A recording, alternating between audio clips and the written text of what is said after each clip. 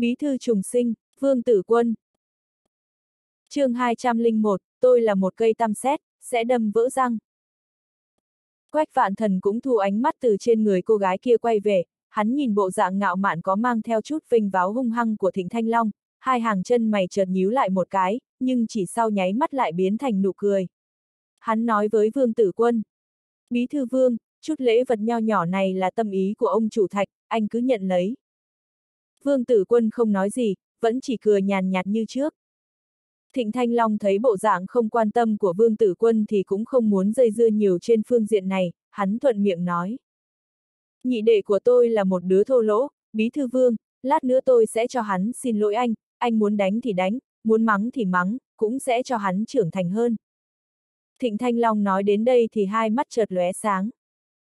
Nhưng mong bí thư vương giao trương tiểu duyệt kia ra, vì tôi còn có việc cần dùng.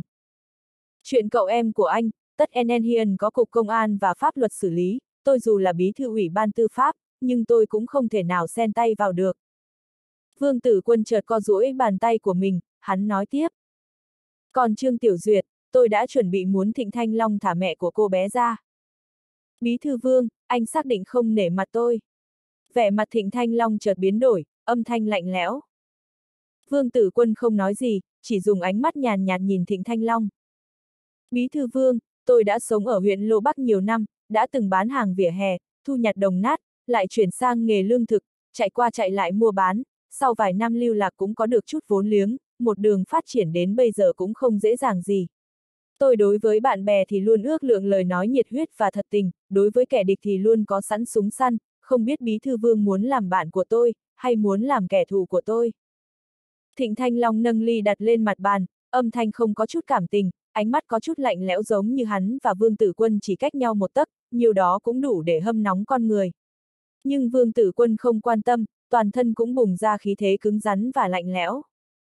Không đồng chí bất tương mưu, tôi nghĩ chúng ta không thể trở thành bạn. Vương Tử Quân nhìn bộ dạng gây sự của Thịnh Thanh Long rồi thản nhiên nói. Audio điện tử võ tấn bền. Trên mặt Thịnh Thanh Long chợt lóe lên vẻ chán ghét, hắn lập tức nói. Núi xanh còn đó thì nước biếc sẽ chảy dài, bí thư vương, tôi tin sẽ có lúc anh cầu xin làm bạn của tôi. Thịnh Thanh Long vừa nói vừa ngửa cổ đổ ly rượu vào trong bụng, sau đó hắn ném ly rượu xuống đất nói. Bí thư vương, đến khi anh tìm đến tôi, tôi hy vọng anh đã đổi khác. Vương tử quân chỉ mỉm cười mà không nói lời nào, đúng lúc này cửa mở ra, một tên thanh niên hơn 20 vội vàng phóng vào. Anh Long, không tốt, cảnh sát càn quét địa bàn của chúng ta. Thịnh Thanh Long chợt ngây người, hắn nhìn tên thuộc hạ mà cao mày, ánh mắt trố lên một lúc lâu không phục hồi. Địa bàn của hắn gần đây cực kỳ an toàn, bao nhiêu năm qua chưa từng xảy ra vấn đề, không ngờ hôm nay lại bị người ta càn quét. Cảnh sát!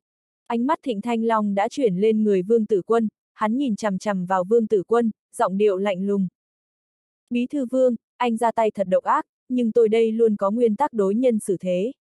Người không động vào tôi, tôi sẽ không động người, nhưng nếu người động vào, tôi sẽ trả lại bảy phần, người tiếp tục động vào tôi sẽ cho một châm, tiếp tục động vào sẽ bị nhổ cỏ tận gốc. Anh nên biết tôi là một cây tam sắt, cắm vào sẽ gãy răng. Vương tử quân chỉ cười cười mà không nói gì. Bí thư tử quân, chuyện gì xảy ra, cục công an có hành động lớn, vì sao không báo cho tôi biết. Vẻ mặt quách vạn thần trở nên lạnh lẽo, hắn trầm giọng quát lên với vương tử quân. Bí thư quách, đây là một đợt kiểm tra theo thông lệ của cục công an, cũng không phải một hành động đả kích tội phạm, nếu như tất cả mọi việc đều phải xin chỉ thị của bí thư quách, có phải là đã quá bảo thủ rồi không? Tôi cảm thấy những chuyện nhỏ nhặt thế này cũng không cần bí thư quách phải lao tâm. Vương Tử Quân nói rất hợp tình hợp lý, lại rất khách khí, cũng không kiêu ngạo không su nịnh, làm cho quách vạn thần phải thu về lời chất vấn của mình. Thịnh Thanh Long biết rõ lúc này có nói gì cũng như không, hắn dùng ánh mắt lạnh lùng nhìn thoáng qua Vương Tử Quân, sau đó dùng giọng oán hận nói. Đi! Cô gái mặc sườn xám và tên thanh niên vừa xông vào cũng không dám động chạm đến Thịnh Thanh Long, sau khi nghe được lời phân phó thì đều đi ra ngoài cửa. Nhưng bọn họ còn chưa ra đến cửa thì có vài tên cảnh sát xông vào, đi đầu là cảnh sát đỗ, lúc này nàng vẫn như bình thường, mặc một bộ đồng phục cảnh sát, càng thêm rực rỡ trói mắt dưới ánh đèn sáng rực của quán ăn giáp ngư thôn. Giám đốc Thịnh, chúng tôi hoài nghi công ty Hưng Long của anh kinh doanh bất hợp pháp, cần đưa anh về cục công an tiếp nhận điều tra. Cảnh sát đỗ là người lên tiếng, vài tên cảnh sát xông về phía Thịnh Thanh Long. Thịnh Thanh Long thấy đám cảnh sát bao quanh mình mà vẻ mặt không chút biến đổi, hắn chỉ vào Vương Tử Quân rồi dùng giọng lạnh lùng nói. Họ Vương, tôi đây thích anh, anh thích tôi như vậy sao? Kẻ làm việc tuyệt tình sẽ nhận lấy sự việc tuyệt tình, anh muốn chơi tôi, để đó mà xem. Khi đám cảnh sát xông vào thì Quách Vạn Thần há miệng muốn lên tiếng, nhưng cuối cùng hắn cũng không nói lời nào. Nhưng lúc này trong ánh mắt của hắn chợt bùng lên cái nhìn phẫn nộ khó thể che giấu. Thịnh Thanh Long bị đưa đi, trong gian phòng chỉ còn lại một mình Vương Tử Quân và Quách Vạn Thần, lúc này Quách Vạn Thần nâng ly dốc rượu vào bụng, sau đó mới lạnh giọng nói. Bí thư Vương, cậu thật sự đáng tán dương, cũng không biết cậu xử lý sự việc thế nào. Vương Tử Quân nhìn Quách Vạn Thần xoay người bỏ đi mà không nói gì, vẻ mặt vẫn rất tươi cười, nhưng vẻ tươi cười này càng ngày càng giảm đi sau khi Quách Vạn Thần rời khỏi phòng. Vương Tử Quân rời khỏi quán giáp ngư thôn thì nhận được điện thoại của Trương Tân Dương, lúc này Trương Tân Dương vừa hưng phấn vừa sợ hãi, nếu như có thể thành công nắm bắt Thịnh Thanh Long, như vậy hắn có công lao lớn, nhưng Thịnh Thanh Long dễ dàng xử lý vậy sao? Hành động lần này mới ban đầu đã có báo cáo thắng lợi, đã có hiệu quả lớn, bắt được không ít dân cờ bạc, còn kèm theo 20 tiểu thư. Muốn định tội Thịnh Thanh Long thì sẽ là một chuyện không chút khó khăn, nhưng sự việc sẽ thuận lợi như những gì mình tưởng sao. Sau khi nghe xong báo cáo của Trương Tân Dương thì Vương Tử Quân chỉ nói vài chữ, nhanh chóng thẩm tra xử lý, cuối cùng thì cúp điện thoại. Hắn biết rõ sự việc mới chỉ là bắt đầu, đây mới chỉ là một phần tử của tập đoàn tội phạm, chính mình tiếp tục sẽ phải đối mặt với áp lực từ cả một tập đoàn lớn. Khi Vương Tử Quân đang trầm ngâm thì tin tức Thịnh Thanh Long bị bắt đã giống như một cơn bão quét ngang huyện Lô Bắc. chương 202, câu cá lớn. Trong một ngôi nhà lầu khu vực nhà khách huyện ủy, bí thư huyện ủy Hầu Thiên Đông đang cùng vài người đánh mặt trược. Hầu Thiên Đông không có sở thích nào khác, chỉ là lúc rảnh rỗi thích làm vài ván mặt trược, những người có thể ngồi đánh bài với bí thư Hầu, tất nhiên sẽ là những nhân vật nổi tiếng. Bí thư Hầu, anh đã nghe nói chưa, thịnh tiểu hổ em của thịnh Thanh Long đã bị vương tử quân bắt lại. Lý Toàn Thành vừa đánh mặt trược vừa khẽ nói với Hầu Thiên Đông. Hầu Thiên Đông đang bốc bài, sau khi nghe Lý Toàn Thành nói như vậy thì chợt sững sờ và nói. Chuyện xảy ra khi nào? Xế chiều hôm nay, nghe nói thịnh tiểu hổ đùa giỡn bạn gái của Vương Tử Quân, bí thư vương của chúng ta nổi giận vì Hồng Nhan bị đùa bỡn, thế là cho cục công an bắt thịnh tiểu hổ lại. Lý Toàn Thành thả mạt trược trong tay xuống rồi cười nói. Hầu Thiên Đông tất nhiên sẽ hiểu ý của Lý Toàn Thành, tên này rõ ràng đang muốn thoa thuốc nhỏ mắt cho Vương Tử Quân, nhưng lão cũng không muốn vạch trần chút tâm tư như vậy của đối phương. Ừ. Hầu Thiên Đông khẽ gật đầu, cũng không tỏ thái độ gì, nhưng lúc này lão không tiếp tục xem bài, bầu không khí cũng lạnh dần lên. Toàn Thành, tin tức này của anh có đủ độ xác thực không? Trưởng phòng tổ chức Tôn Quốc Lương ngồi đối diện Hầu Thiên Đông, thấy bộ dạng Lý Toàn Thành muốn nói lại thôi, giống như còn lời muốn nói, thế là tạo cơ hội cho Lý Toàn Thành. Tất nhiên là thật rồi, bây giờ Thịnh Tiểu Hổ đang bị giữ lại trong cục công an, Trương Tân Dương là người ra tay, bây giờ Trương Tân Dương thật sự làm theo lệnh của Vương Tử Quân. Lý Toàn Thành tất nhiên sẽ không bỏ qua cơ hội lên tiếng. Vũ Trạch Huy và Lý Toàn Thành ngồi sát bên nhau, Vũ Trạch Huy cười hì hì nói. Xem ra vị bí thư ủy ban tư pháp của chúng ta là người chưa từng biết dừng tay. Nghe nói hôm nay bí thư quách cùng với Thịnh Thanh Long mời Vương Tử Quân dùng cơm, bây giờ mọi người đang ở trên bàn cơm. Lý Toàn Thành nói rồi bắt đầu quan sát vẻ mặt của Hầu Thiên Đông, nhưng lúc này vẻ mặt bí thư huyện ủy vẫn không chút biến đổi, giống như nghe vào tai một chuyện cực kỳ tùy ý. Phú Trạch Huy nghe được sự việc liên quan đến Quách Vạn Thần, hắn hít vào một hơi, sau đó dùng giọng đáng tiếc nói. Hai người bọn họ hòa hảo với nhau, thật sự đáng tiếc. Vũ Trạch Huy không nói đáng tiếc ở chỗ này, nhưng ý nghĩ của hắn lại được mọi người biết rõ. Hầu Thiên Đông nghe được tin tức này thì tốc độ ra bài càng thêm nhanh.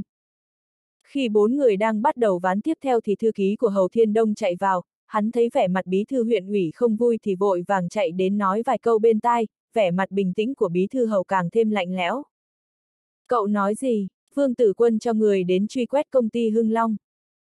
Đúng lúc này khí độ bình tĩnh không sợ hãi của Hầu Thiên Đông đã biến mất sạch sẽ, lão cầm bài trong tay không xem mà trực tiếp ném lên mặt bàn, lại dùng giọng khó tin hỏi thư ký của mình. Đúng vậy, Bí Thư Hầu, nghe nói Thịnh Thanh Long đã bị Vương Tử Quân đưa về cục công an. Thư ký lên tiếng bằng giọng chém đinh chặt sắt. Vương Tử Quân rõ ràng bắt Thịnh Thanh Long, điều này làm cho đám người ngồi đây trở nên trầm ngâm. Bọn họ là cán bộ huyện Lô Bắc, bọn họ biết rõ Thịnh Thanh Long là loại người gì, sau lưng Thịnh Thanh Long là hạng người gì. Không đánh nữa.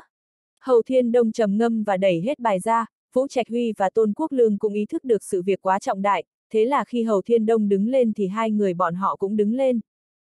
Khi thấy lãnh đạo phải đi thì Lý Toàn Thành cũng muốn đi theo, nhưng hắn còn chưa lên tiếng thì Hầu Thiên Đông đã lạnh giọng nói. Anh đi theo làm gì? Anh là chính ủy cục công an mà một việc như vậy cũng không biết, không biết anh ăn cái gì nữa. Hầu Thiên Đông nói xong thì cũng không tiếp tục nhìn Lý Toàn Thành đang đứng như trời trồng. Lý Toàn Thành nhìn ba vị lãnh đạo bỏ đi mà vô tình không biết làm sao cho tốt, hắn lúc này biết địa vị của mình đã giảm sút trong mắt bí thư huyện ủy, nếu như hắn không nghĩ ra một biện pháp tu bổ, sợ rằng sau này cơ hội đến tiêu khiển góp vui với lãnh đạo cũng không còn. Nếu so sánh với bí thư huyện ủy Hầu Thiên Đông vì chủ tịch huyện Lưu Thành Quân tiếp nhận tin tức có hơi chậm hơn một chút, khi Phó Cục trưởng Thường vụ Cục Công an Kim Siêu Việt đến báo cáo thì hắn còn đang uống trà. Sau khi nghe được tin tức Thịnh Thanh Long bị bắt thì hắn thiếu chút nữa đã ném ly trà trong tay xuống đất. Thịnh Thanh Long là hạng người gì thì Lưu Thành Quân biết rõ ràng, sau lưng Thịnh Thanh Long là ai thì hắn càng hiểu rõ hơn ai khác. Lúc này Lưu Thành Quân lại dám ra tay với Thịnh Thanh Long, thế là cảm giác gió bão chợt bùng lên như điên trong lòng hắn. Mưa gió đã nổi lên, mình nên ứng phó như thế nào? Lưu Thành Quân trầm ngâm một lát, sau đó hắn tiếp tục cầm ly trà lên nhấp một ngụm.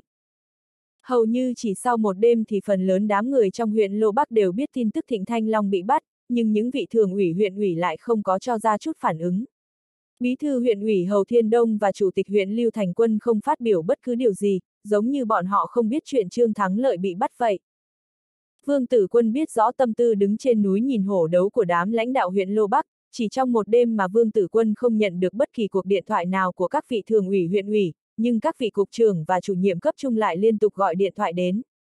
Dù bọn họ nói ra những lời không giống nhau nhưng đều có một ý gần xa, chính là cầu tình cho Thịnh Thanh Long. Trong những cuộc điện thoại như vậy, điều làm cho Vương Tử Quân cảm thấy có chút ý tốt chính là giám đốc nhà máy in Đỗ Tử Đằng, người này không có chút hút mắc gì với Thịnh Thanh Long, hắn chỉ gọi điện thoại và nhắc nhở Vương Tử Quân lưu ý, vì Thịnh Thanh Long không dễ đối phó. Bí thư Vương, Thịnh Thanh Long hỏi gì cũng nói không biết, cái gì cũng không nói, cái gì cũng không biết.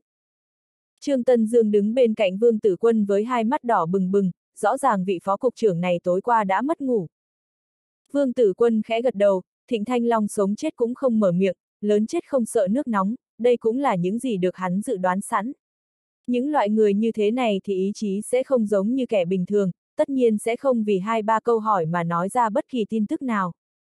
Nhưng Thịnh Tiểu Hổ em Thịnh Thanh Long lại nhận tội, nhận hết tất cả về mình, nói đây là những gì mà hắn đã làm và gạt cả Thịnh Tiểu Long. Trương Tân Dương nói đến đây thì hận đến mức ngứa răng, Thịnh Tiểu Hổ và Thịnh Thanh Long vốn được giam giữ tách riêng, ngày hôm qua Thịnh Tiểu Hổ còn không nói lời nào, bây giờ lại mở miệng, hơn nữa lại ôm tất cả những tội lỗi cần thiết lên người mình, đây căn bản là tự nhận tội. Trương Tân Dương nghĩ đến tình huống có người trong đội của mình báo tin cho anh em Thịnh Thanh Long mà trong lòng chợt căm hận, trước mắt mình và Vương Tử Quân đã được kết lại trên một con thuyền, chuyện lần này lại quá quan trọng, nó liên quan đến vận mệnh của mình và Vương Tử Quân, dù là công hai tư thì hắn cũng không thể cho anh em nhà Thịnh Thanh Long có chút cơ hội nào để ngóc đầu lên. Vương Tử Quân khẽ gật đầu, sau đó hắn nâng ly trà lên nói. Nghỉ ngơi một chút đi, không thể dương cung quá căng, như vậy cũng không phải chuyện gì tốt. Trương Tân Dương nhìn bộ dạng bình tĩnh nước chảy mây trôi và tất cả sự việc đều nằm trong dự đoán của Vương Tử Quân, hắn cảm thấy tâm tình của mình cũng an tĩnh hơn. Hắn là người trà trộn quan trường nhiều năm, biết rõ bắt Thịnh Thanh Long chỉ là một chuyện nhỏ, nhưng những nhân vật liên quan đến Thịnh Thanh Long mới là quan trọng nhất.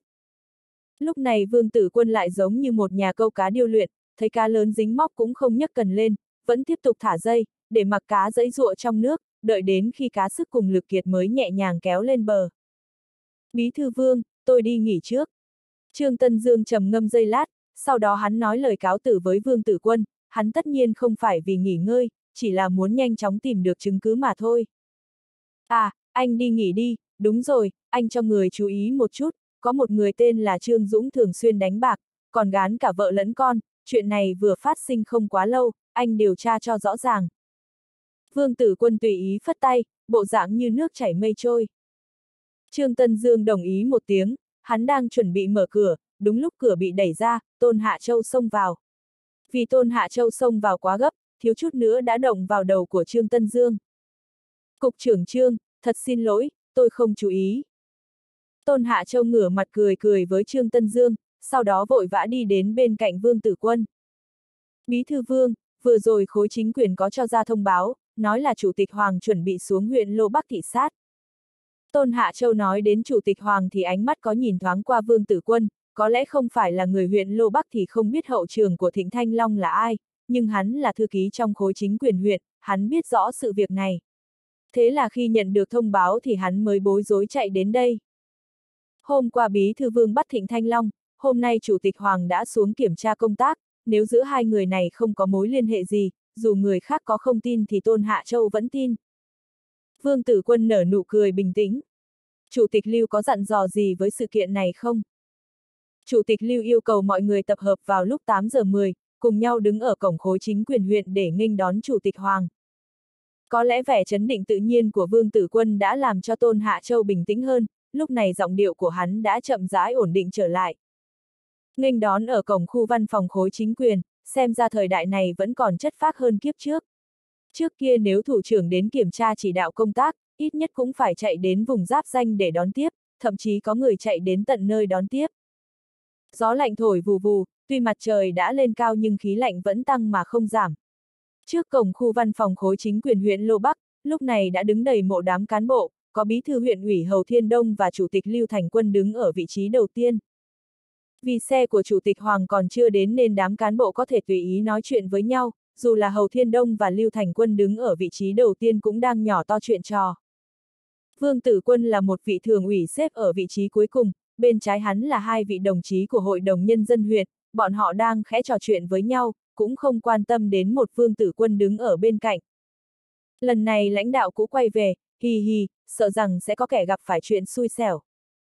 Khi Vương Tử Quân nhàm chán nhìn ra phía sau, chợt thấy sau lưng mình vang lên một âm thanh trong trẻo. Vương Tử Quân nghe được âm thanh này và biết ai là người lên tiếng, hắn quay đầu lại vừa lúc nhìn thấy Tiền Diễm Lệ đang đứng bên cạnh Tôn Hạo, hai bên đang lớn tiếng nói chuyện với nhau. Lúc này Tiền Diễm Lệ chợt đưa mắt nhìn Vương Tử Quân, trong mắt lóe lên nụ cười hả hê. Tiền Diễm Lệ vốn có ý kiến với Vương Tử Quân, sau khi Vương Tử Quân tiến lên vị trí bí thư ủy ban tư pháp thì càng biến thành đố kỵ. Bây giờ Chủ tịch Hoàng đến kiểm tra chỉ đạo công tác, chỉ cần nhìn qua là biết vì cái gì, tiền diễm lệ sẽ không bỏ qua một cơ hội tốt như vậy. Tôn Hạo cũng thấy ánh mắt của Vương Tử Quân, sau đó hắn nhanh chóng đáp lời tiền diễm lệ. Đây cũng là vì có một số người chỉ biết làm sằng làm bậy, thật sự coi huyện Lô Bắc như nhà mình, không hỏi rõ trắng đen đã bắt người.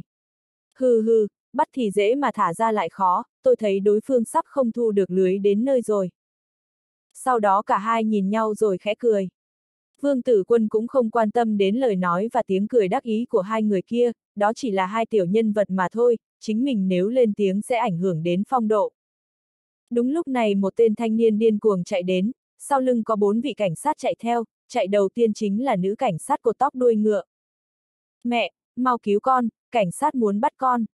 Tên thanh niên thấy được tiền diễm lệ thì giống như gặp cứu tinh, hắn hô lớn. Một tiếng mẹ đã làm hấp dẫn tất cả ánh mắt của lãnh đạo đang đứng nơi đây, ngay sau đó mọi người đã biết tên thanh niên kia là ai. Các vị lãnh đạo, chính Nghi Khoan là đồng phạm của Thịnh Tiểu Hổ, ngàn vạn lần đừng để cho hắn chạy.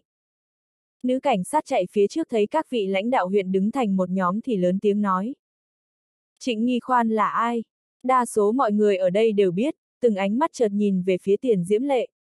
Nhưng đây đều là lãnh đạo, bọn họ tuy nghe được lời của vị nữ cảnh sát nhưng không kẻ nào ra tay, với địa vị của bọn họ mà giúp cảnh sát bắt tội phạm thì thật sự có hơi mất mặt. Thái Thần Bân và một nhóm nhân viên công tác đứng cách Phương Tử Quân không quá xa, vừa rồi hắn cũng nghe được những lời của Tiền Diễm Lệ. Hắn đã tự nhận mình là người của Vương Tử Quân, tất nhiên biết rõ Trịnh Nghi Khoan là ai, thế là hắn tiến lên ngăn đón không khách khí. Trịnh Nghi Khoan bị hai tên cảnh sát truy đuổi mà hai mắt bốc lửa, lúc này tìm được cứu tinh thì lại bị người ta cản đường, thế là hai mắt chợt đỏ hồng, cũng không quan tâm mà cầm dao gọt trái cây đâm Thái Thần Bân. Thái Thần Bân tuyệt đối không ngờ tên kia lại dùng dao trước mặt nhiều người như thế này, nhưng hắn có xuất thân quân nhân, phản ứng rất nhanh, không chờ dao đâm đến thì đã tung ra một đá. Bốp! Thái Thần Bân đá một cái thật mạnh, trịnh nghi khoan ngã lăn xuống đất, con dao văng ra. Nhóm cảnh sát chạy đến, bọn họ nhân cơ hội mà bẻ ngoặt tay Trịnh Nghi Khoan, sau đó còng lại. Tiền Diễm Lệ lúc này mới chợt phản ứng, chỉ cảm thấy một cảm giác chán ghét bùng lên từ dưới lòng bàn chân, sau đó lên bụng, bò vào trong tim. Chỉ cảm thấy mình giống như một con sói cái ngồi canh trước cửa hang, dù bị tình huống trước mặt làm cho nổi điên lên, nhưng răng sắc chỉ có thể cắn chặt lại, móng vuốt sắc bén chỉ có thể quấn lấy nhau. Lúc này nàng đã không chịu được, thấy con bị còng thì gào lên một tiếng và chạy đến. chương 203, bắn tên không thu hồi. Không kẻ nào động vào con tôi. Tiền Diễm Lệ dù là phó chủ tịch huyện nhưng tình huống xảy ra trước mặt lại làm bùng phát bản năng làm mẹ, nàng liều lĩnh xông lên, lớn tiếng gầm lên với đám cảnh sát. Trịnh Nghi Khoan bị cảnh sát bắt giữ, bây giờ thấy Tiền Diễm Lệ chạy ra làm điểm tựa, thế là giống như bắt được cỏ cây cứu mạng. Mẹ, mau cứu con, đừng cho bọn họ đưa con đi.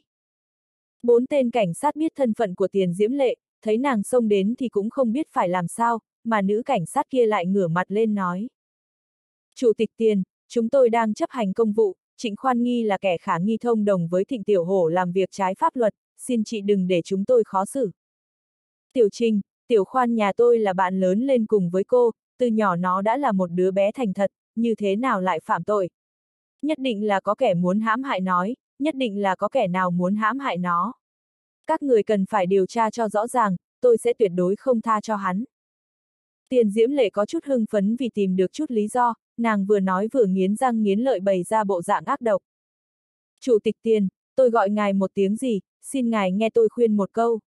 Tiểu khoan có phạm sai lầm hay không thì tôi chẳng biết, nhưng đây là mệnh lệnh do cục trưởng truyền xuống, nếu như ngài thấy tiểu khoan bị người ta dụ dỗ hãm hại, như vậy cứ để cho chúng tôi điều tra, tôi tin pháp luật sẽ có câu trả lời thích đáng.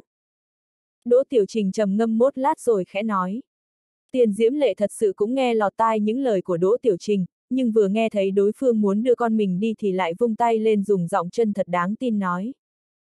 Mặc kệ các người nói thế nào cũng được, dù sao thì chuyện này tôi cũng không đồng ý, con tôi là ai, sao lại đưa đến cục công an.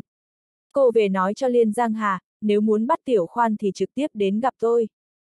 Đỗ Tiểu Trình không ngờ vị phó chủ tịch mới vài ngày trước thấy mình còn tươi cười hớn hở, bây giờ lại không chịu nói lý lẽ như vậy, thế là lúc này cũng bó tay không biết phải làm sao.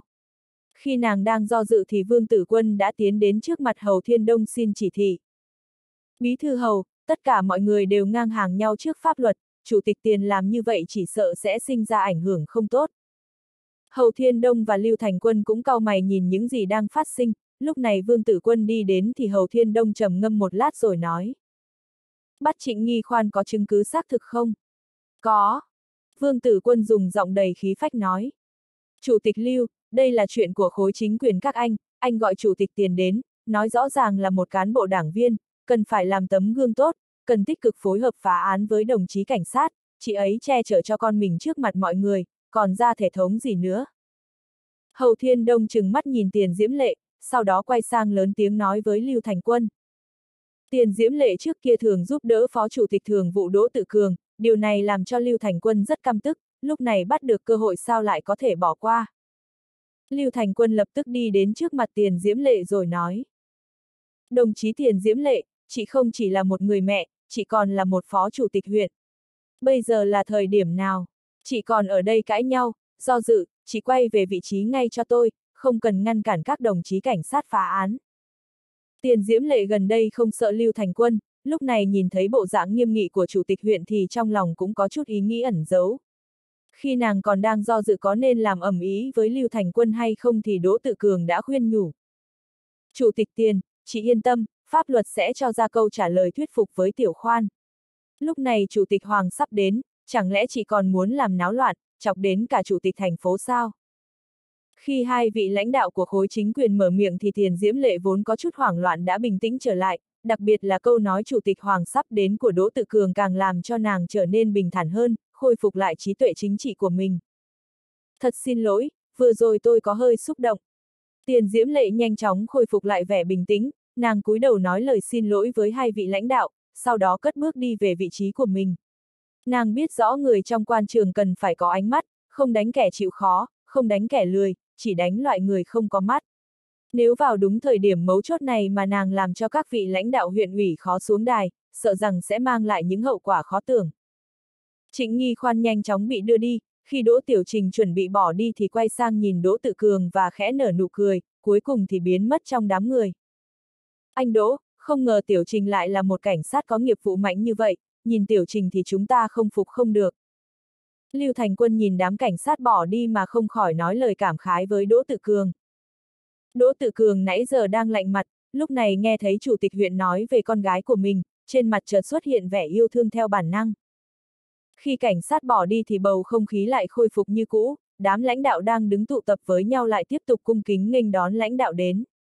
Nhưng lúc này đám người thật sự không nói lời nào, khốn nổi các đồng chí lão thành của Hội đồng Nhân dân và mặt trận Tổ quốc lại không quan tâm, vẫn tiếp tục ồn ào.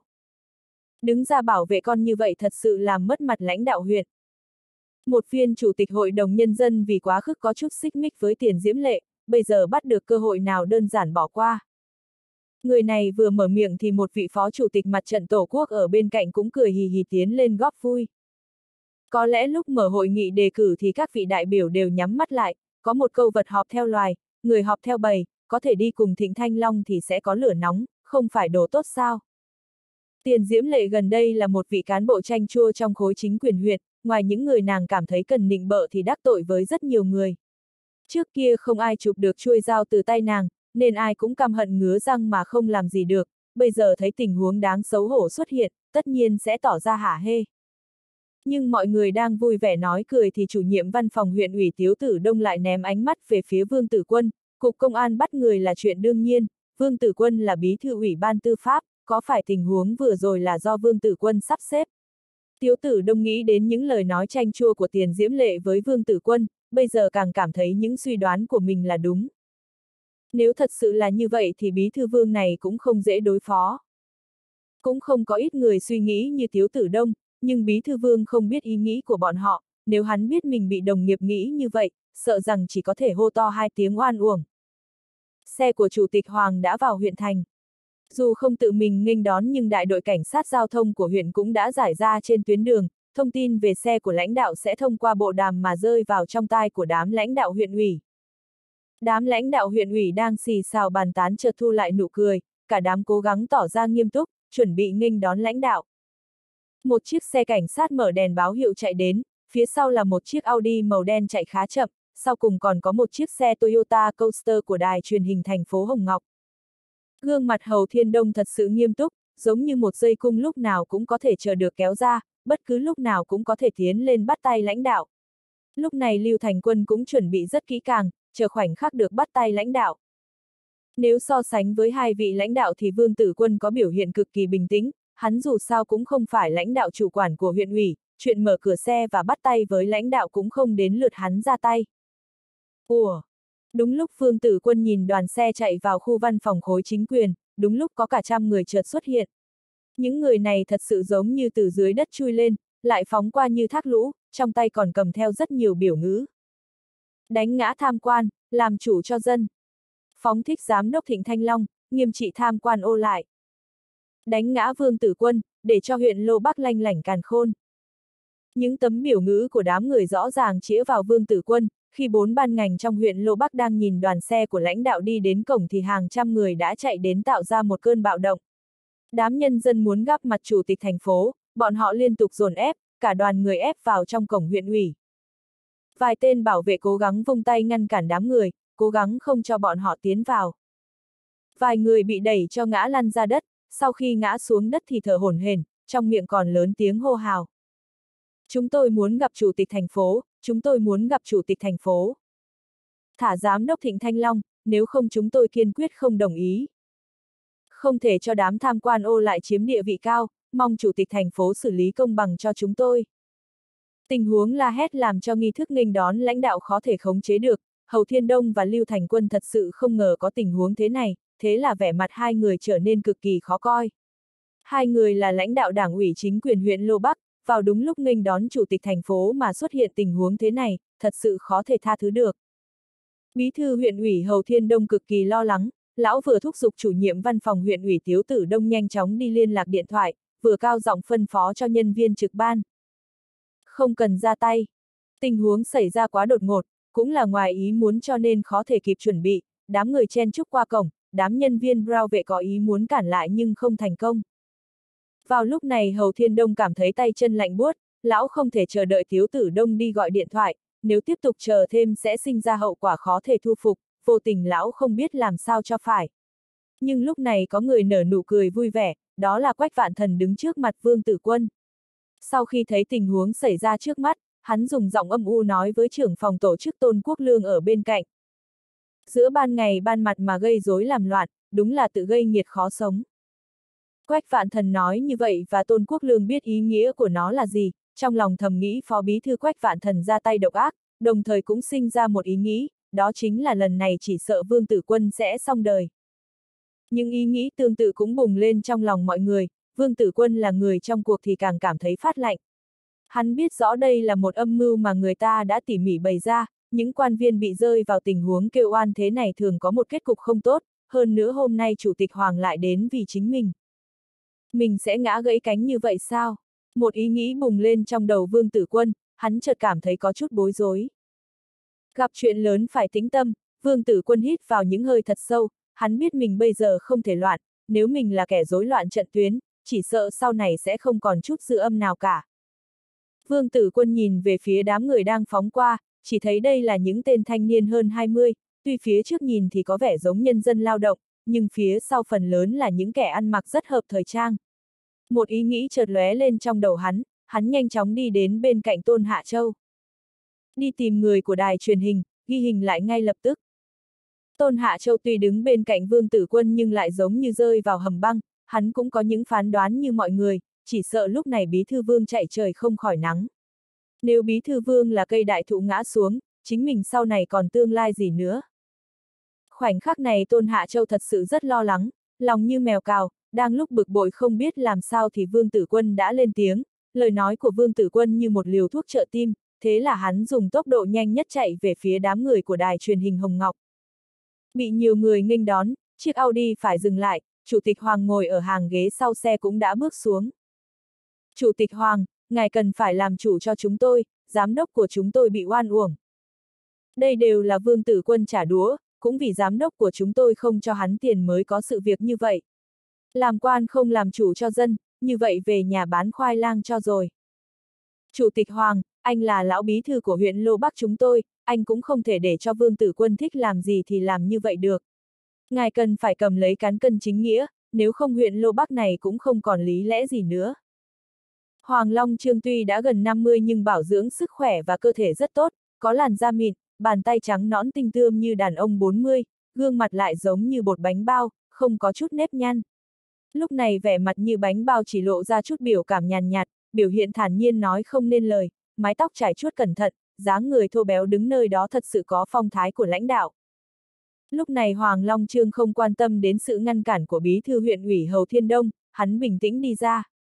Đúng lúc này tiếng micro vang lên chói tai, chủ nhiệm văn phòng huyện ủy Tiếu Tử Đông tranh thủ tăng âm lượng đưa micro đến trước mặt chủ tịch Hoàng. Khoảnh khắc này Vương Tử Quân thấy trên trán chủ nhiệm Tiếu Tử Đông vã ra một tầng mồ hôi.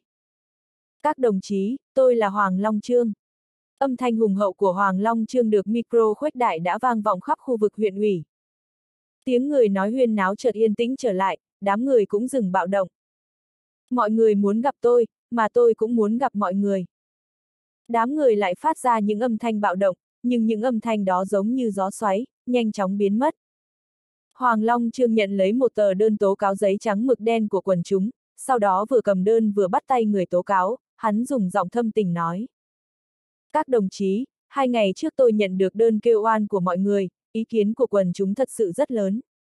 Đây không phải là chuyện nhỏ, tôi là chủ tịch thành phố Hồng Ngọc, tôi có trách nhiệm bảo vệ nhân dân.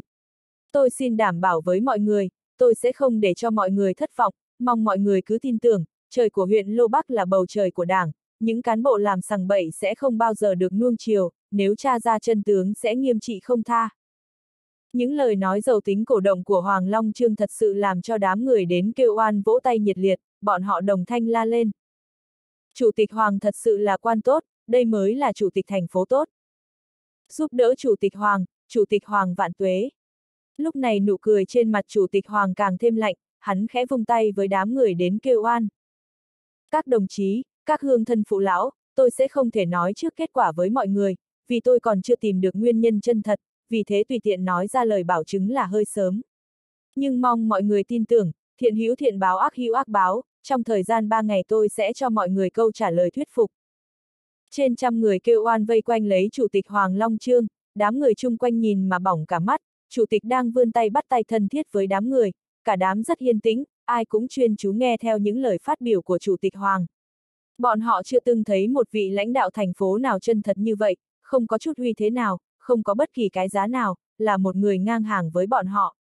Điều này làm cho đám người cảm thấy thỏa mãn tâm lý, đám quần chúng phẫn nộ đã nhanh chóng trở nên bình tĩnh, cũng nhanh chóng bỏ đi.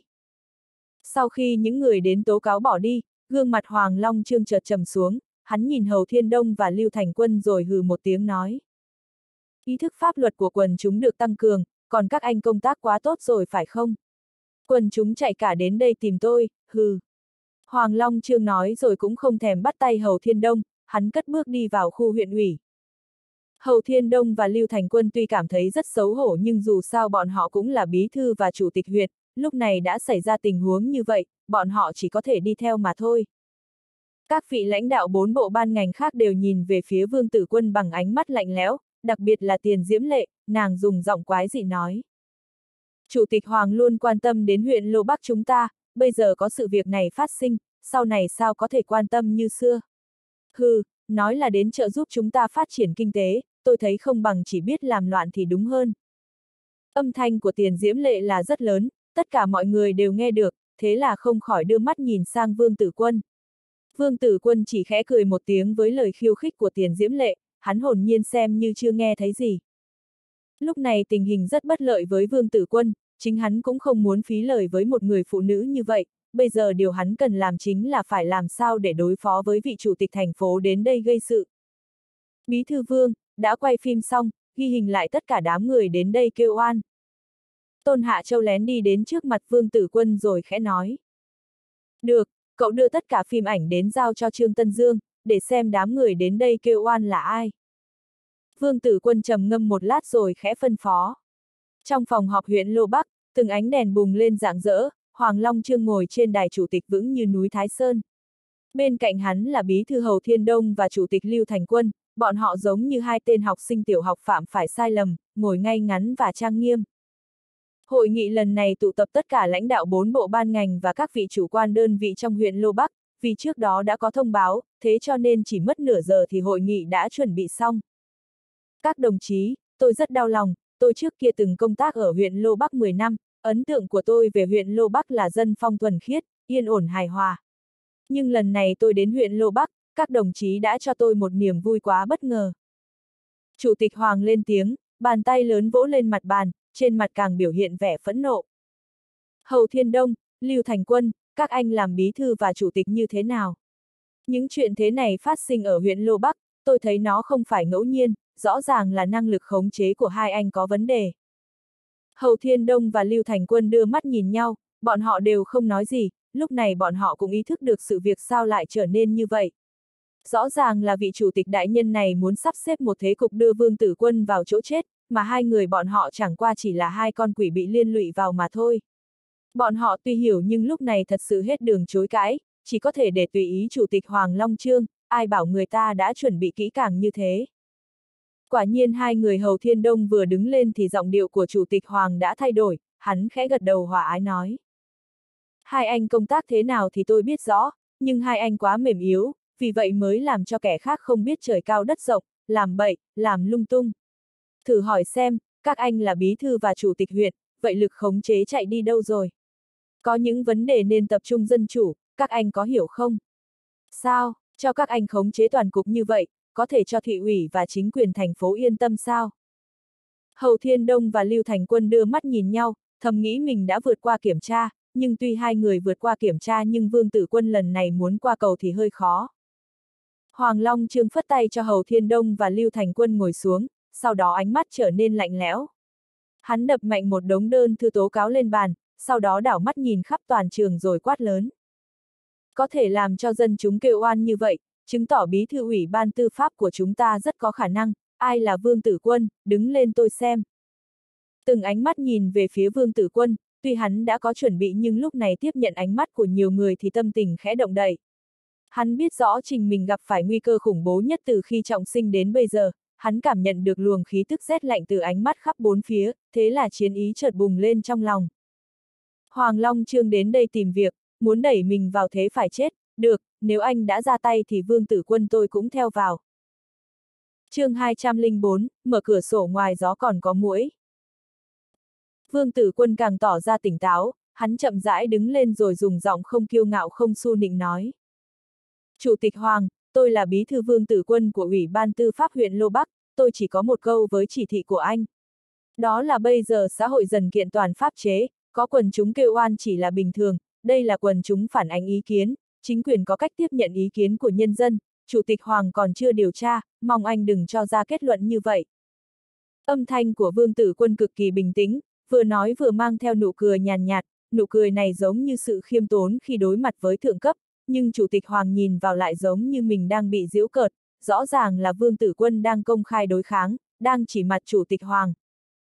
Sau khi trở thành Chủ tịch thành phố, dù là trường hợp công khai hay trường hợp tư nhân, Chủ tịch Hoàng đã không biết đã bao lâu rồi chưa từng bị người ta khách khí chống đối.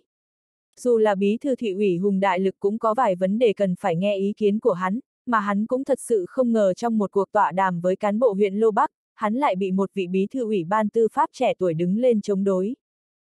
Không, đây phải là chỉ trích, nói Hoàng Long Trương không điều tra thì không có quyền lên tiếng, đây không phải đang nói đến những điều bất thường trong công tác của hắn sao. Điều này làm cho Chủ tịch Hoàng tức giận đến cực điểm, trước đó hắn tỏ ra tức giận chỉ là giả vờ, hắn thấy Vương Tử Quân chẳng qua chỉ là một con sâu nhỏ, căn bản là thứ mà mình có thể tự do xử lý. Không ngờ con sâu nhỏ này lại không biết nông cạn, dám làm cho hắn nổi giận. Bốp!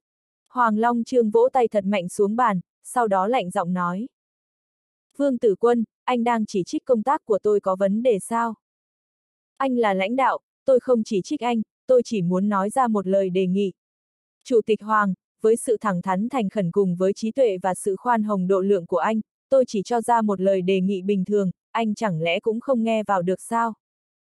Vẻ mặt Vương Tử Quân càng thêm tỉnh táo, hắn lặng lẽ nhìn Chủ tịch Hoàng, bộ dạng giống như đang nhắc nhở rất thiện trí.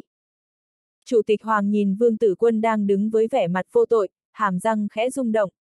Dù hắn hận không thể lao xuống cho tên cán bộ trẻ tuổi kia một trận, nhưng lúc này kinh nghiệm công tác nhiều năm nói cho hắn BS, không thể tiếp tục dây dưa ở vấn đề này, nếu không chính mình sẽ rơi vào trạng thái bị động. Hay cho một đồng chí Vương Tử Quân nhanh mồm nhanh miệng, tôi nói cho cậu biết, dù cậu có tài ăn nói thế nào, có một sự thật cậu không thể nào cải biến được, cậu có ý nghĩ tư lợi với một xí nghiệp nổi tiếng của thành phố chúng ta, không cải biến được sự thật không ăn được tiền thì trả đũa.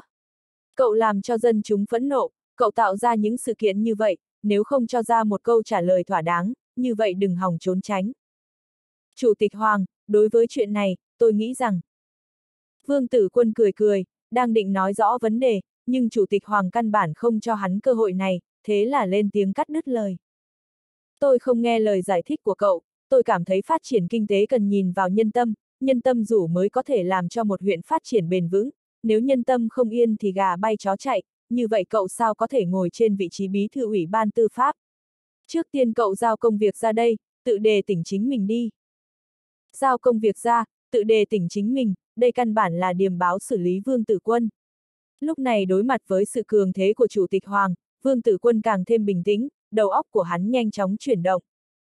Đình chỉ công tác của tôi, tôi không có ý kiến, nhưng lệnh đình chỉ phải theo đúng trình tự, không phải chủ tịch ngài nói một lời là có thể xong. Tôi còn là bí thư ủy ban tư pháp huyện ủy, muốn dừng công tác của tôi, còn phải có văn bản chính thức của phòng tổ chức thị ủy.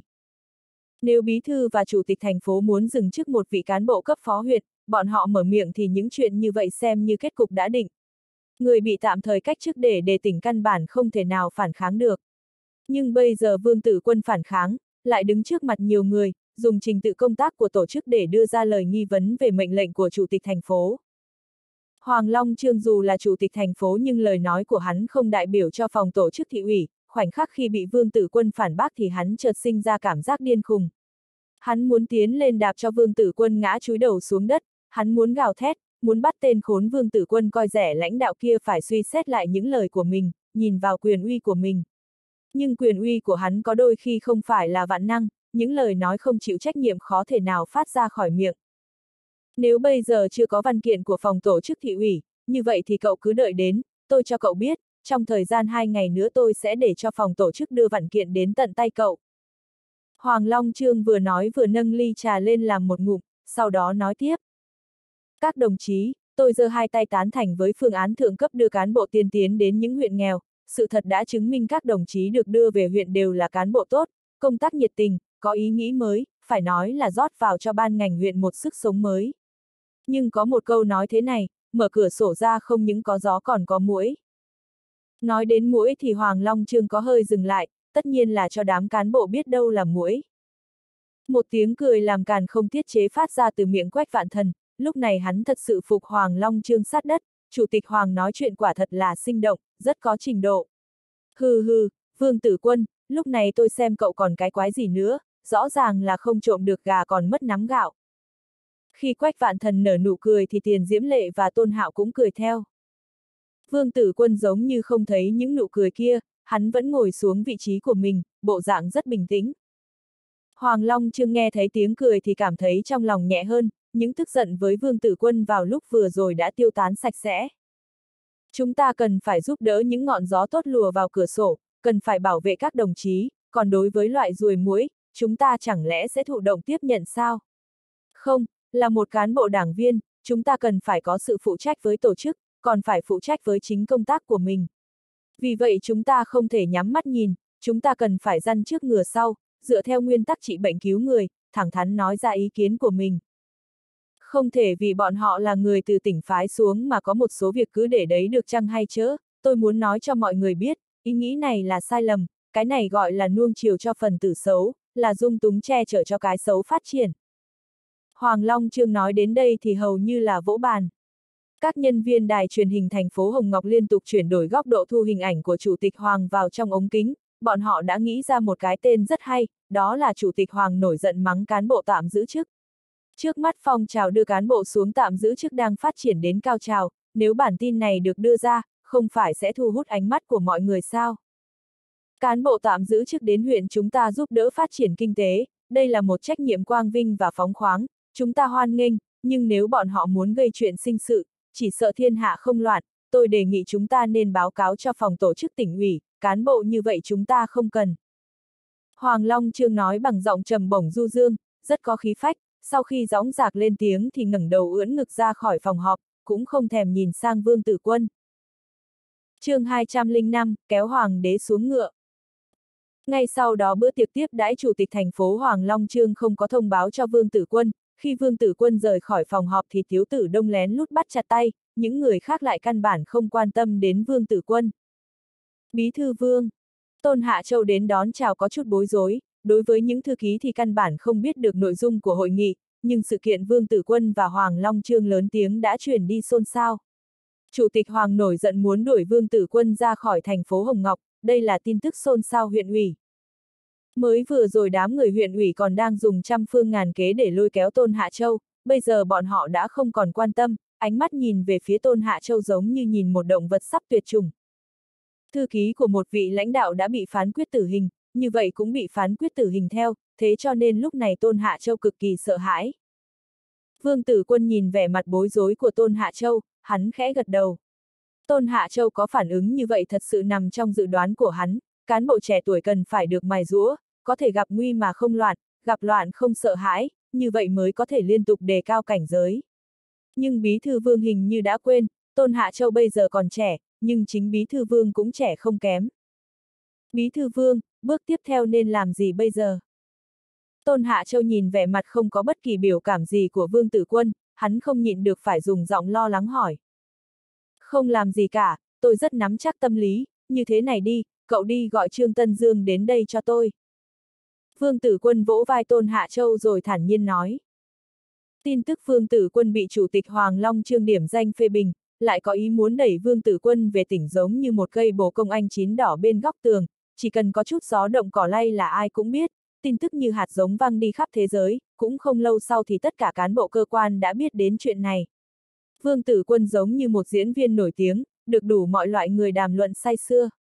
Rất nhiều người tỏ ra vui sướng vì vương tử quân sắp phải ra đi, nhưng càng có không ít người bóp cổ tay thở đài, những năm nay tiền vung ra có thể sai khiến được quỷ thần, có tiền làm hậu thuẫn thì tha hồ làm loạn.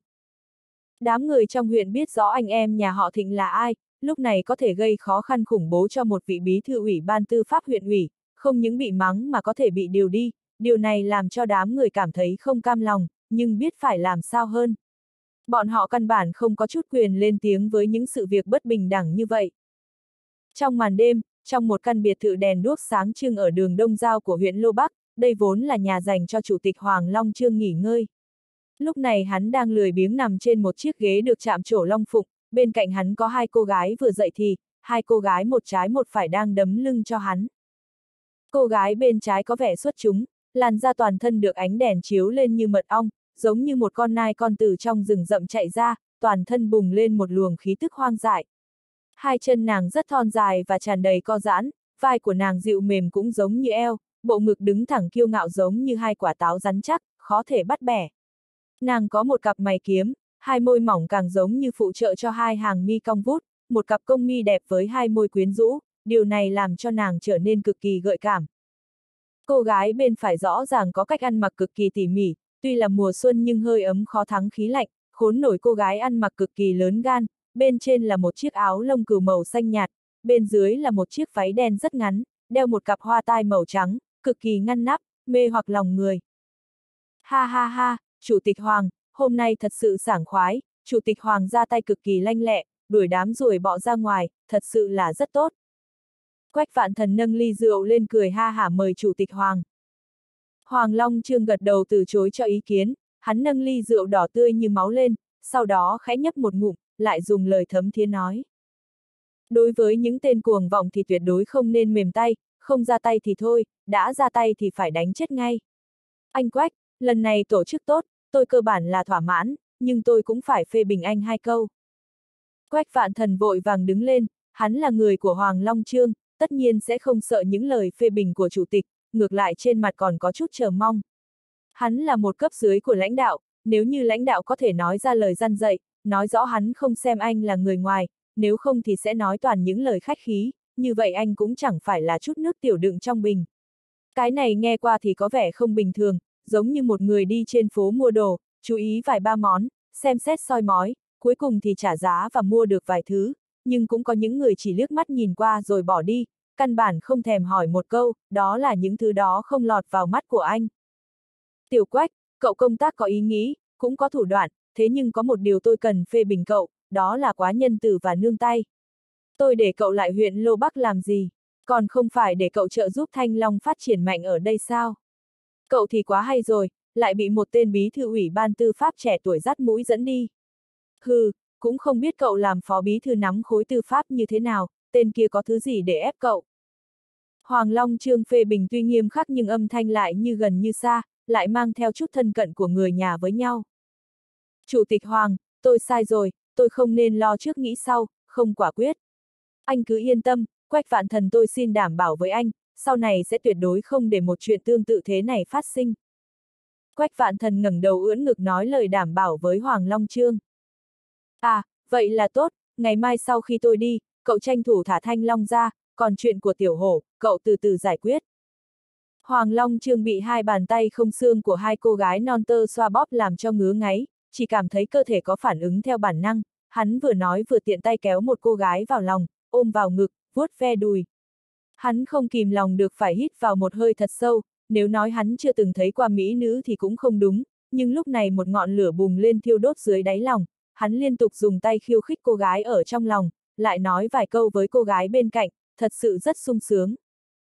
Cô gái ở bên cạnh giả vờ ghen, nàng nhếch miệng nhỏ nhắn lên rồi dùng giọng không vui nói. Xem ra ngài sắp mất hồn rồi. Hoàng Long Trương thấy thế thì cười hì hì nói. Ta mất hồn thì cô em phải tự gọi nó về. Quách vạn thần thấy vẻ mặt khó thể chịu nổi giống như khỉ ăn ớt của Hoàng Long Trương, hắn biết rõ Chủ tịch Hoàng đang vội vàng hưởng thụ cuộc sống, thế là nở nụ cười hì hì hiểu ý, sau đó nói. Chủ tịch Hoàng, lúc này cũng không còn sớm, anh đã đi cả ngày, cần phải bảo trọng thân thể, tôi cũng không muốn quấy rầy anh, mong anh nghỉ ngơi cho tốt. Quách vạn thần vừa nói vừa phất phất tay với hai cô gái hầu hạ bên cạnh Hoàng Long Trương, để cho hai cô gái dìu chủ tịch Hoàng đi nghỉ ngơi. Quách vạn thần đảo mắt qua cơ thể của hai cô gái mà không khỏi có chút lo lắng, thầm mắng chủ tịch Hoàng thứ gì cũng tốt, chỉ là có sở thích với gái còn trẻ măng, thật sự là khó nói nên lời. Nghe nói Hoàng Long Trương từng gióng giạc lên tiếng, thượng đế không phải là vạn năng, vì lão chỉ có thể sáng tạo ra xử nữ, mà đàn ông thì có thể sáng tạo ra đàn bà. Sau khi chờ Hoàng Long Trương rời đi, Quách Vạn Thần khẽ nâng ly rượu lên nhấp một ngụm, hắn giống như thấy được tình huống Vương Tử Quân dọn đồ đạc ảm đạm rời khỏi huyện Lô Bắc. Trong khu nhà của Cục Công an, Đỗ Tự Cường đang ngâm chân với vẻ mặt mệt mỏi. Trước khi đi ngủ phải ngâm chân chính là thói quen thâm căn cố đế của hắn từ khi bước vào chính giới, sau vài chục năm, trừ khi uống say mèn, hắn căn bản ít khi quên ngâm chân. Bố, Bí Thư Vương thật sự sẽ bị điều đi sao?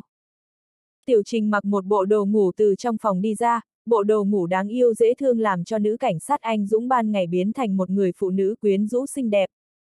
Đỗ Tự Cường nhìn bộ mặt chấn vấn của con gái mà không nhịn được phải nở nụ cười, hắn trước nay luôn xem con gái bảo bối của mình là uy hiếp lớn nhất, cũng là niềm kiêu ngạo nhất. À, có lẽ là như vậy, lần này Vương Tử Quân đã hoàn toàn thất bại, hắn không nên dây vào tổ ong vào vẻ của anh em Thịnh Thanh Long. Đỗ Tự Cường dù không thật sự vừa mắt Vương Tử Quân, nhưng hắn vẫn có chút cảm xúc khi một vị cán bộ trẻ tuổi có năng lực cao như Vương Tử Quân phải rời khỏi huyện Lô Bắc. Các người sao lại có thể làm như vậy? Những vụ án mà Thịnh Thanh Long làm ra đã chất dày cả mét, không ai quan tâm, bây giờ có người động vào thì lại ép người ta phải đi, trên đời này còn công lý không? Vài chục năm sau, đến khi tự nhìn vào lương tâm của mình, tự hỏi lòng xem quyết định hôm nay, có phải sẽ xấu hổ vì chức vụ của mình. Sau khi nghe thấy bố mình xác định những tin tức mình từng nghe, trên mặt Đỗ Tiểu Trình tràn đầy phẫn nộ. Đỗ Tự Cường tuy đồng ý với lời nói của con gái, nhưng lúc này hắn cũng phải thực hiện phương án dự phòng cho con gái, nếu không con mình không biết che đậy miệng, lại nói bậy bạ trước mặt người ngoài. Tiểu Trình, con cần phải chú ý, con không đại biểu cho chính mình mà còn đại biểu cho bố. Bố nói cho con biết, lần này Chủ tịch Hoàng đột nhiên đến huyện Lô Bắc thị sát cũng là vì Vương Tử Quân, đây là bố cục mà người ta đã sắp xếp sẵn, đó chính là đẩy Vương Tử Quân ra khỏi huyện Lô Bắc. Không có biện pháp nào giữ bí thư vương ở lại sao? Đỗ Tiểu Trình nghĩ đến gương mặt thanh tú, nụ cười luôn thường trực trên môi của vị bí thư trẻ tuổi Vương Tử Quân mà giống như trong lòng bị tổn thương, cảm thấy tê dần. Người này phải đi, đúng là quá đáng tiếc. Bố, Thịnh Thanh Long sẽ như thế nào? Đỗ Tiểu Trình có chút trầm ngâm, sau đó nàng hỏi ra một vấn đề mà hầu như chính mình cũng hiểu rõ đáp án. Thế nào, còn như thế nào nữa?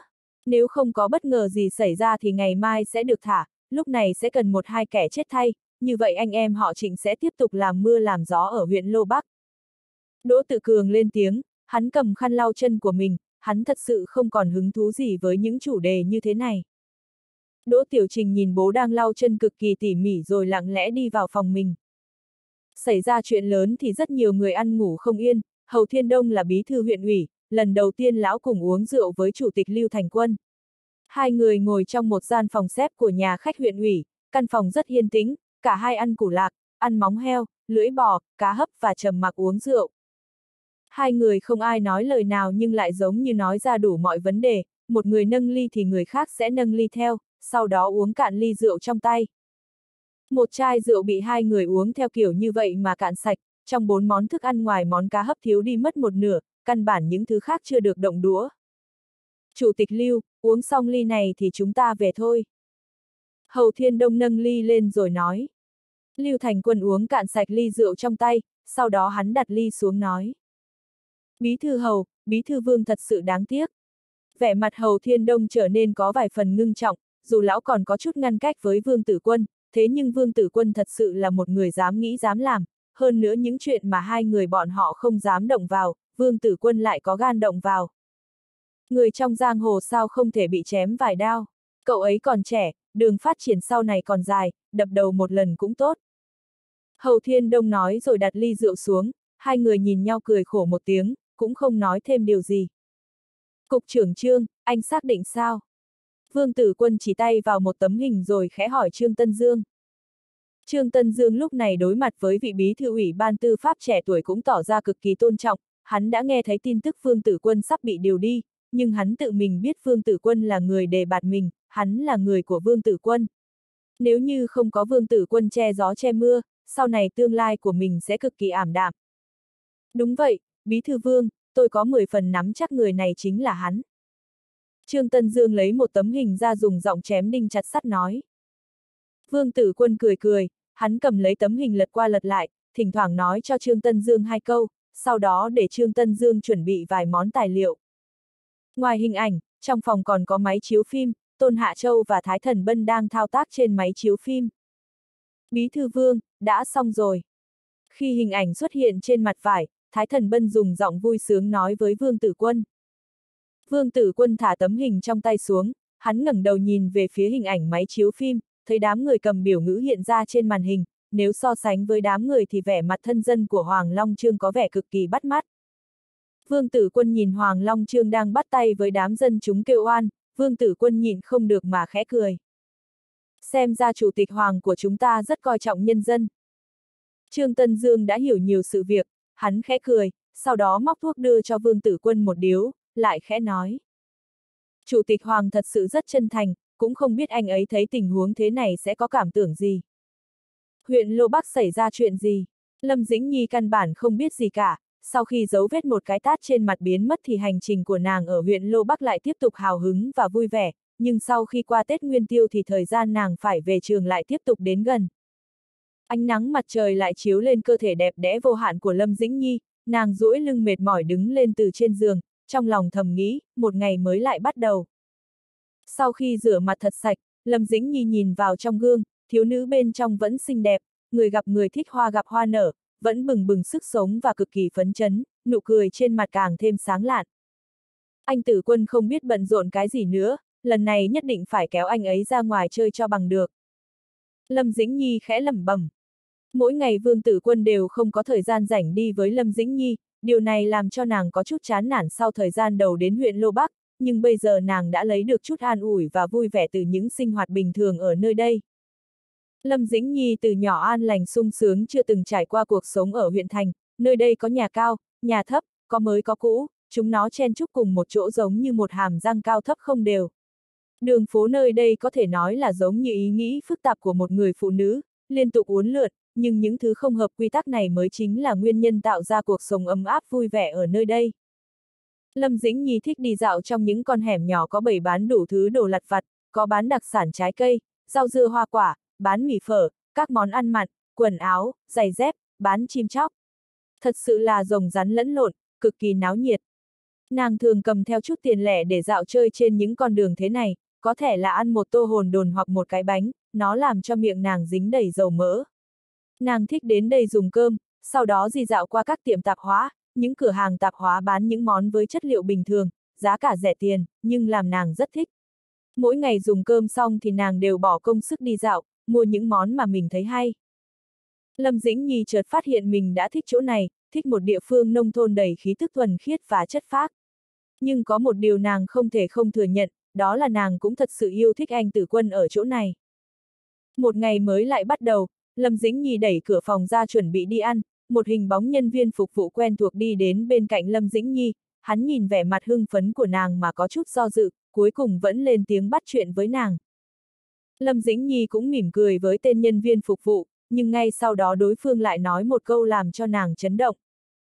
Lâm Tiểu Thư, giám đốc của chúng tôi nói cô đã ở đây được vài ngày, cần phải thanh toán tiền phòng. Lâm Dĩnh Nhi tuy là một cô gái đơn thuần, nhưng nàng là con gái của bí thư tỉnh ủy Lâm Trạch Viễn, có một số việc mà nàng vẫn có thể tìm được hương vị từ bên trong.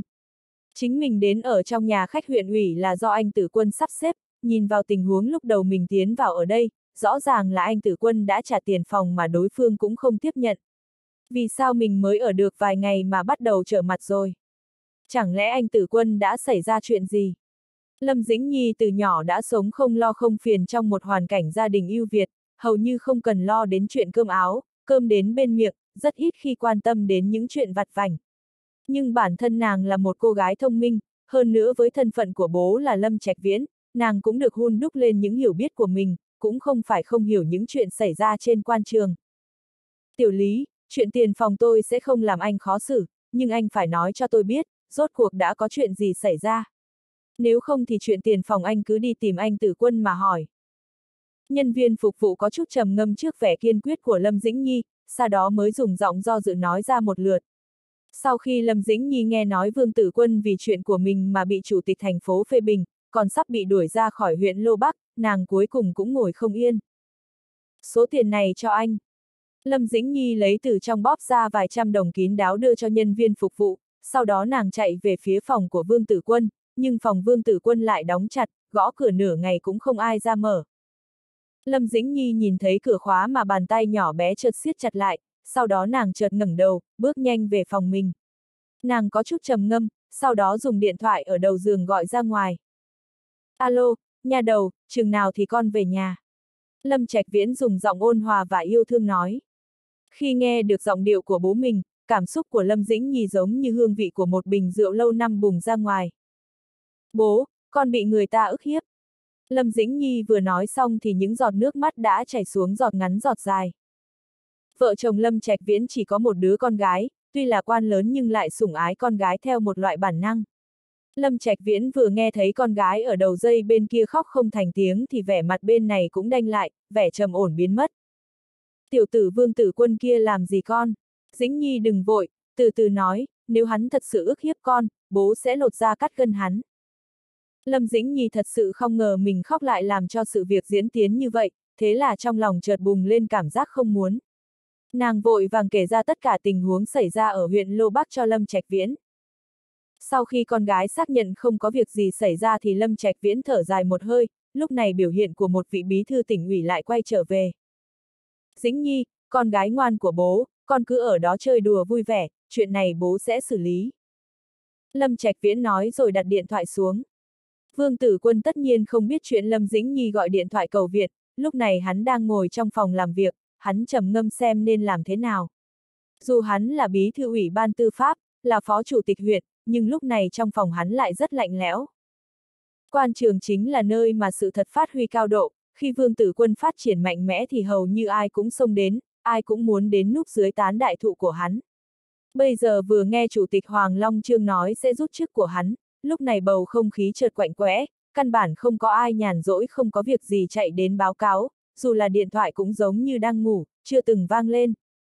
Những tiếng ồn ào truyền vào từ cửa sổ, vương tử quân nghe thấy âm thanh như vậy thì nhìn ra bên ngoài, hắn thấy một đám người tụ tập cách bãi đậu xe vài trăm mét, giống như có chuyện gì đó xảy ra. Hắn phát hiện trong đám người kia có hình bóng của Thái Thần Bân và Tôn Hạ Châu. chương 206, có một loại ăn ý thầm hiểu lẫn nhau. Bí thư vương đang ở trong phòng làm việc, hiện tại không tiếp khách. Âm thanh trầm thấp của Tôn Hạ Châu từ bên ngoài truyền vào, âm thanh có chút rồn rập, nhưng phần nhiều lại là vẻ kiên định chém đinh chặt sắt. Hi hi, trong phòng làm việc, bí thư vương còn có thể làm việc sao? À, đúng rồi, nếu có công việc để làm, dù thế nào thì còn là bí thư ủy ban tư pháp sao? Bí thư quách, anh nên sắp xếp công tác cho bí thư vương, dù sao thì người ta cũng không thể làm không công, dù sao cũng phải cho người ta chút cơ hội được làm việc chứ. Một âm thanh chào phúng chợt truyền đến, vương tử quân dù nhắm mắt cũng biết chủ nhân của những âm thanh kia là ai. Thịnh Thanh Long, không ngờ Thịnh Thanh Long lại xuất hiện ở chỗ này, đối phương ngoài ý nghĩ muốn thị uy với mình, còn có ý gì nữa. Bí thư vương, tên cầu vật này được tiện nghi còn muốn khoe mẽ, đúng là quá khoa trương, để tôi đuổi bọn họ đi. Trương Tân Dương xúc động và chợt mở miệng nói tục, hắn ngẩng đầu lên tiếng. Không cần, không cần quản nhiều, cứ để cho bọn họ tùy tiện, nước bọt có thể dìm chết người sao. Cục trưởng Trương, nếu Thịnh Thanh Long đã đến đây, vậy thì chúng ta gặp mặt đối phương, xem anh ta muốn nói gì. Vương Tử Quân nói rồi quay đầu đi ra ngoài cửa phòng. Thịnh Thanh Long đứng đó, một bộ quần áo màu đen thẳng thớm, một một mắt kính cũng đen kịt, thật sự rất có phong thái của một vị lãnh đạo hắc đạo. Lúc này hắn đang hất hàm dùng ngón tay sai khiến Tôn Hạ Châu, khi thấy Vương Tử Quân đi ra thì trong mắt có chút oán độc. Tiểu dân bái kiến bí thư Vương Đại Nhân. Thịnh Thanh Long cười lớn giống như toàn thân ngứa ngáy, hai tay chắp lại đưa về phía Vương Tử Quân, bộ dạng giống như dân chúng bình thường gặp quan lớn, nhưng vẻ mặt của hắn chỉ tràn đầy trào phúng. Ha ha ha ha! Vài tên đàn ông đi theo sau lưng Thịnh Thanh Long thấy tình huống như vậy thì chợt cười lớn điên cuồng không kiêng nể ai. Vương Tử Quân dùng ánh mắt lạnh nhạt nhìn Thịnh Thanh Long, hắn cũng không nói gì, giống như đứng trước mặt cũng không phải là Thịnh Thanh Long. Ôi, tôi đã quên mất rồi, ngài là bí thư ủy ban tư pháp, không phải là bí thư huyện ủy, hèn gì ngài không đáp lời.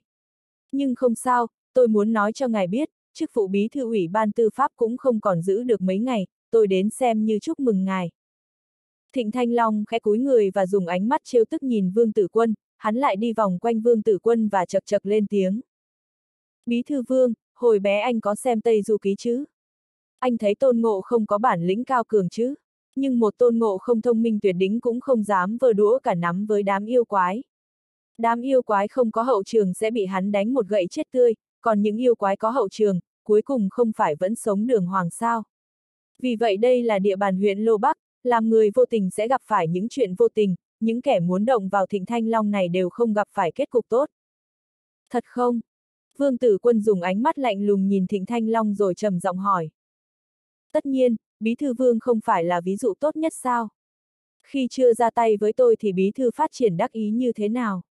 Bây giờ thì sao? Tâm tình của anh rất uất ức, hi hi, không cần tôi nói, chính anh cũng cảm khái rất nhiều phải không?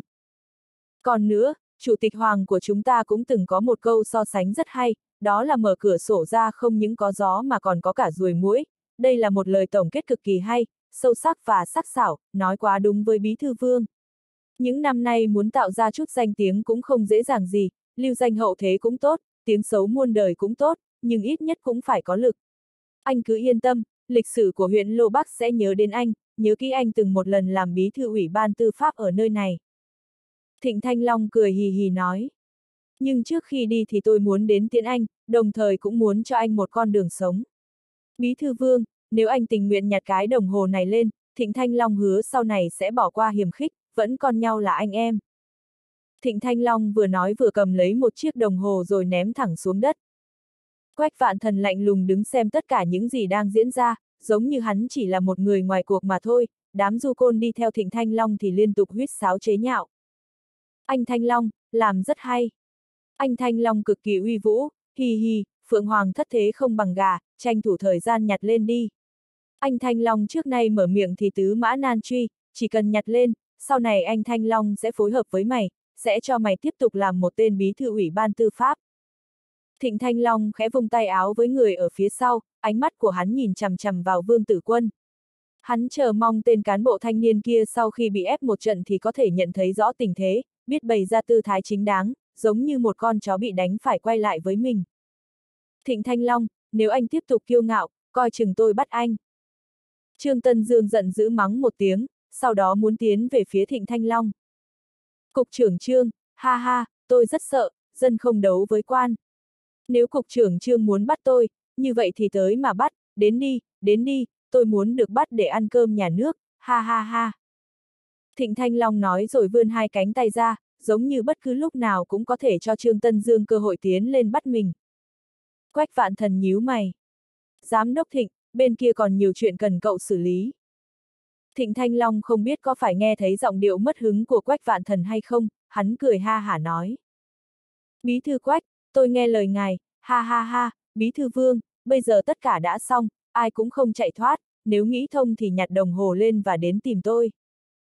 Thịnh Thanh Long đi ra dưới tình huống được đám thủ hạ tiền hô hậu ủng, hắn ngẩng đầu ưỡn ngực rời khỏi khu văn phòng huyện ủy, chiếc đồng hồ vẫn nằm trên mặt đất.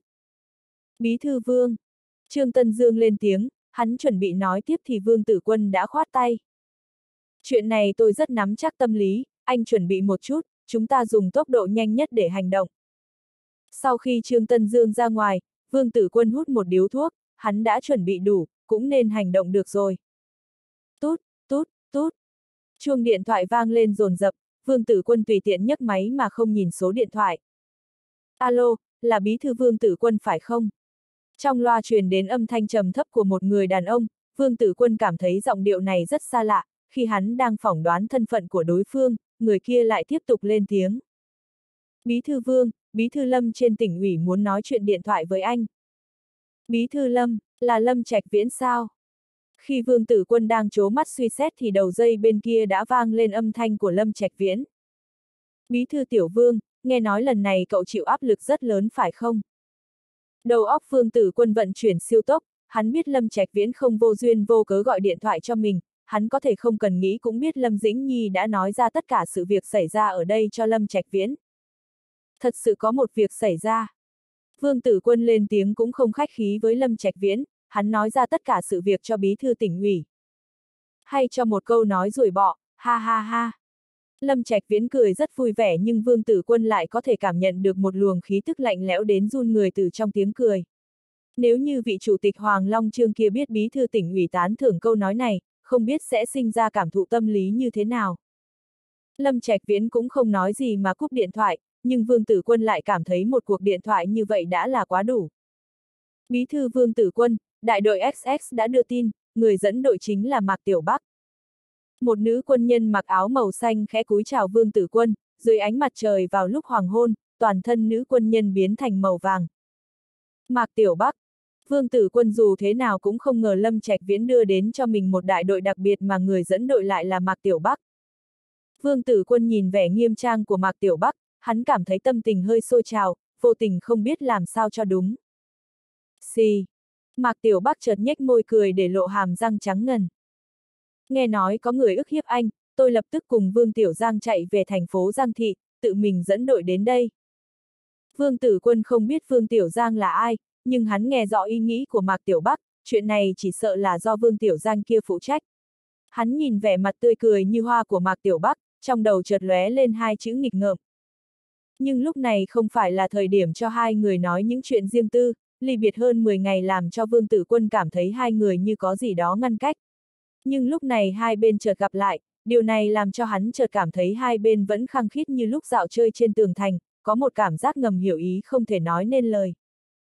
Vương Tử Quân định sử dụng lực lượng của Cục Công an huyện Lô Bắc cho hành động lần này, nhưng sau này Lâm Trạch Viễn lại gọi điện thoại đến, vì đảm bảo tính cẩn thận, cũng vì không cho cá lọt lưới nên đã liên lạc với bộ đội địa phương, vận dụng đại đội đặc biệt, cần phải bắt tất cả những người liên quan.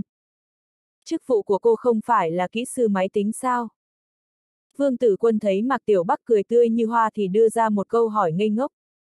Đúng vậy, nhưng cũng không ai ép tôi không được tham gia tổ đặc biệt.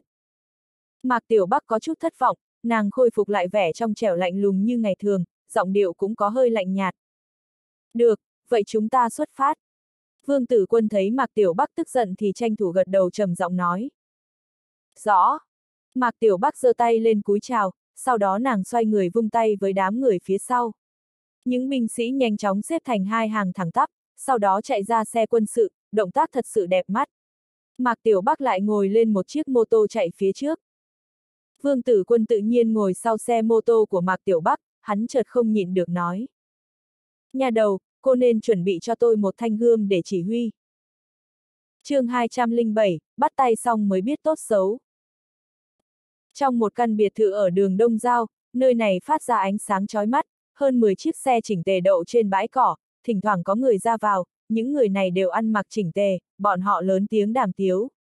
Lẽ ra những người ra vào trong một ngôi nhà tràn đầy khí phái phải là những kẻ có giáo dưỡng, nhưng đám người này lại hoàn toàn khác biệt, bọn họ vừa vào trong sân thì đã không cố ý đứng trên bãi cỏ nói đủ mọi chuyện, hoàn toàn không để ý đến những vị khách trong nhà, hăng say đàm luận. Nâng ly, chúng ta cùng nhau uống ly rượu này, Trúc Thịnh ra một ly, cùng Trúc Thịnh ra bình an quay về. Một người đàn ông hơn 30 tuổi, trong mắt hắn ẩn giấu một luồng khí chất bạo ngược, hắn đứng lên lớn tiếng đề nghị. Thịnh Thanh Long ngồi ở vị trí chủ vị, hắn uống hết ly rượu rồi cười tủm tỉm nói. Này anh Lục, tôi biết anh dùng dao rất giỏi, nhưng không nghe nói anh có thể diễn trò. Nghe nói anh đã kéo tay anh Hoàng khóc đến mức mặt mũi nhăn rúm, kêu oan cho tôi cứ như thật. Hi hi, đại ca, vì có thể nặn ra những giọt lệ như vậy mà tôi đây đã thật sự chịu khổ, sáng hôm đó phải phải chuẩn bị ớt bôi lên mắt, làm hại tối hôm đó nước mắt nước mũi cứ kèm nhèm, thật sự khó ngăn lại được. Nhưng nói thật thì đại ca vẫn thần thông quảng đại, có thể triệu tập cả chủ tịch thành phố, đồng thời còn phải ra tay vì anh. Anh Lục vừa tranh công vừa nở nụ cười nói lời nịnh hót. Thịnh Thanh Long cung không dám xem thường tên thuộc hạ là anh Lục của mình, tiểu tử này tuy bình thường ít nói ít rằng, nhưng lại là một kẻ dám xông lên giết người. Nghe nói năm xưa có vài lời qua tiếng lại với hàng xóm, khi thấy không hợp thì sách dao đâm bốn người trong gia đình người ta, đây là loại người không dễ trêu vào. Thịnh ra, tôi không diễn được chân thật như anh Lục, vì thế cũng không được hưởng tư vị nắm chặt hai tay của chủ tịch thành phố, nhưng anh em đây cũng liều mình vì đại ca. Một tên đàn ông trẻ tuổi có một vết dao trên mặt cũng không quan tâm mà chen đến bên cạnh anh Lục, sau đó nâng ly rượu nói với Thịnh Thanh Long. Thịnh Thanh Long chỉ cười ha hả với hành động đoạt công của tên đàn ông kia, hắn nâng ly rượu lên với đám người, sau đó dùng giọng đắc ý nói với Quách Vạn Thần ở bên cạnh. Anh Quách, những anh em của tôi như thế nào? Tuy không có tên nào là đảng viên đảng Cộng sản, nhưng đứa nào cũng tốt, nếu nói về lòng trung thành và mức độ tận tâm thì thật sự là khó thể sánh được. Nếu anh có thủ oán với ai, chỉ cần nói cho anh em một tiếng là xong ngay. Quách vạn thần chỉ biết cúi đầu uống rượu, lúc này hắn thật sự có chút hối hận vì theo Thịnh Thanh Long đến đây uống rượu, nhưng hắn hối hận cũng đã muộn, hắn đã đến đây thì cũng chỉ có thể nhập ra tùy tục mà thôi. Anh Quách, anh có gì không vui sao? Nói cho mọi người vui vẻ một chút, Chủ tịch Hoàng khi nào thì ra tay với Vương Tử Quân. Anh cần phải hứa với anh em, tên họ Vương kia vừa đi thì phải nhanh chóng thả tiểu hổ ra ngay. Thịnh Thanh Long nói đến Thịnh Tiểu Hổ thì lại nâng ly rượu lên với Quách Vạn Thần. Ngày mai, ngày mai sẽ mở hội nghị thường ủy huyện ủy, Chủ tịch Hoàng đã hạ quyết tâm, sau khi kết thúc hội nghị thường ủy thì sẽ ném tên ruồi bỏ kia về nơi bắt đầu. Quách Vạn Thần nâng ly trong tay lên, hắn uống một hơi cạn sạch. Thịnh Thanh Long khẽ gật đầu mà không nói thêm điều gì, nhưng ly rượu trong tay lại úp xuống, không còn giọt rượu nào dư thừa. Thịnh ra, vương tử quân đến.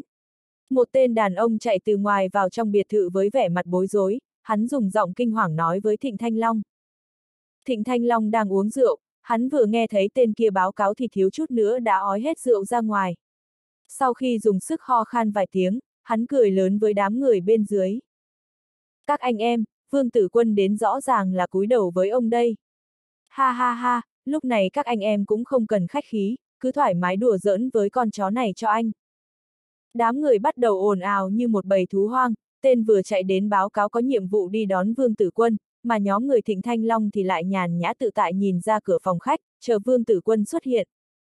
Vương Tử Quân đến, nhưng không phải đến một người, khoảnh khắc khi hắn đi vào biệt thự, có vài chục bóng đen phóng về phía đám người đứng trong sân như mãnh hổ xuống núi. Các người muốn làm gì? Anh lục quát lớn một tiếng, hắn chụp lấy một băng ghế, đang định đập thẳng về phía tên chiến sĩ trước mặt.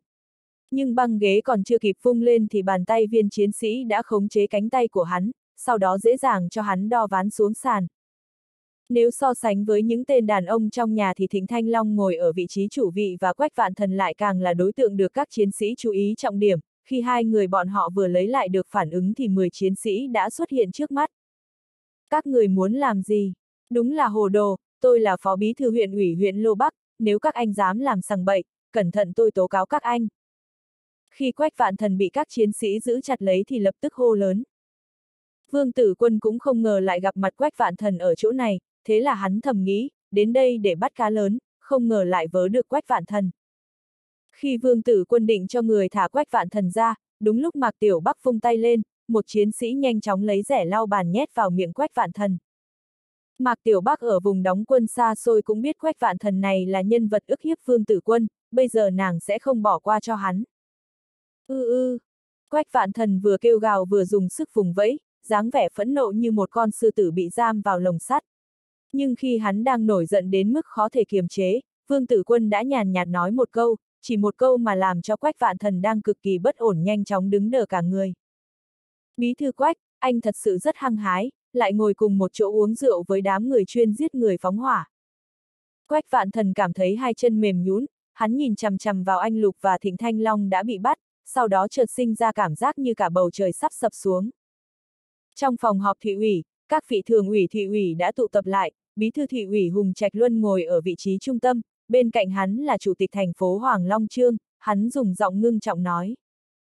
Các đồng chí, không xuống kiểm tra thì không biết, lần này tôi đi thật sự nhìn thấy nhiều tình huống mà giật mình. Chủ tịch Hoàng Long Trương vừa nói vừa vỗ mạnh xuống bàn, sau đó dùng giọng đầy khí phách nói. Một tên cán bộ tạm giữ chức mà dám lạm dụng chức quyền để báo tư thù với một cá nhân có ân oán, trực tiếp bắt giữ lãnh đạo xí nghiệp vĩ đại đưa đến giam ở cục công an huyện. Điều làm cho người ta căm giận chính là huyện ủy huyện Lô Bắc lại làm ngơ không quan tâm. Tôi rất đau lòng, thưa các đồng chí, tôi thật sự rất đau lòng. Tôi là một vị chủ tịch thành phố, trong khu vực trực thuộc sự quản lý của mình lại xuất hiện tình huống như vậy, có thể thấy người làm quan kiêu ngạo hống hách cỡ nào, tôi xem như đây là kinh nghiệm xương máu, tôi cũng đã hạ quyết tâm, nhất quyết phải đẩy đám ruồi bọ kia ra khỏi thành phố Hồng Ngọc chúng ta, kiên quyết không làm cho một con rán làm bẩn nồi canh của cả thành phố. Chủ tịch Hoàng Long Trương đập bàn ầm ầm, vẻ mặt giống như thể không bao giờ bỏ qua.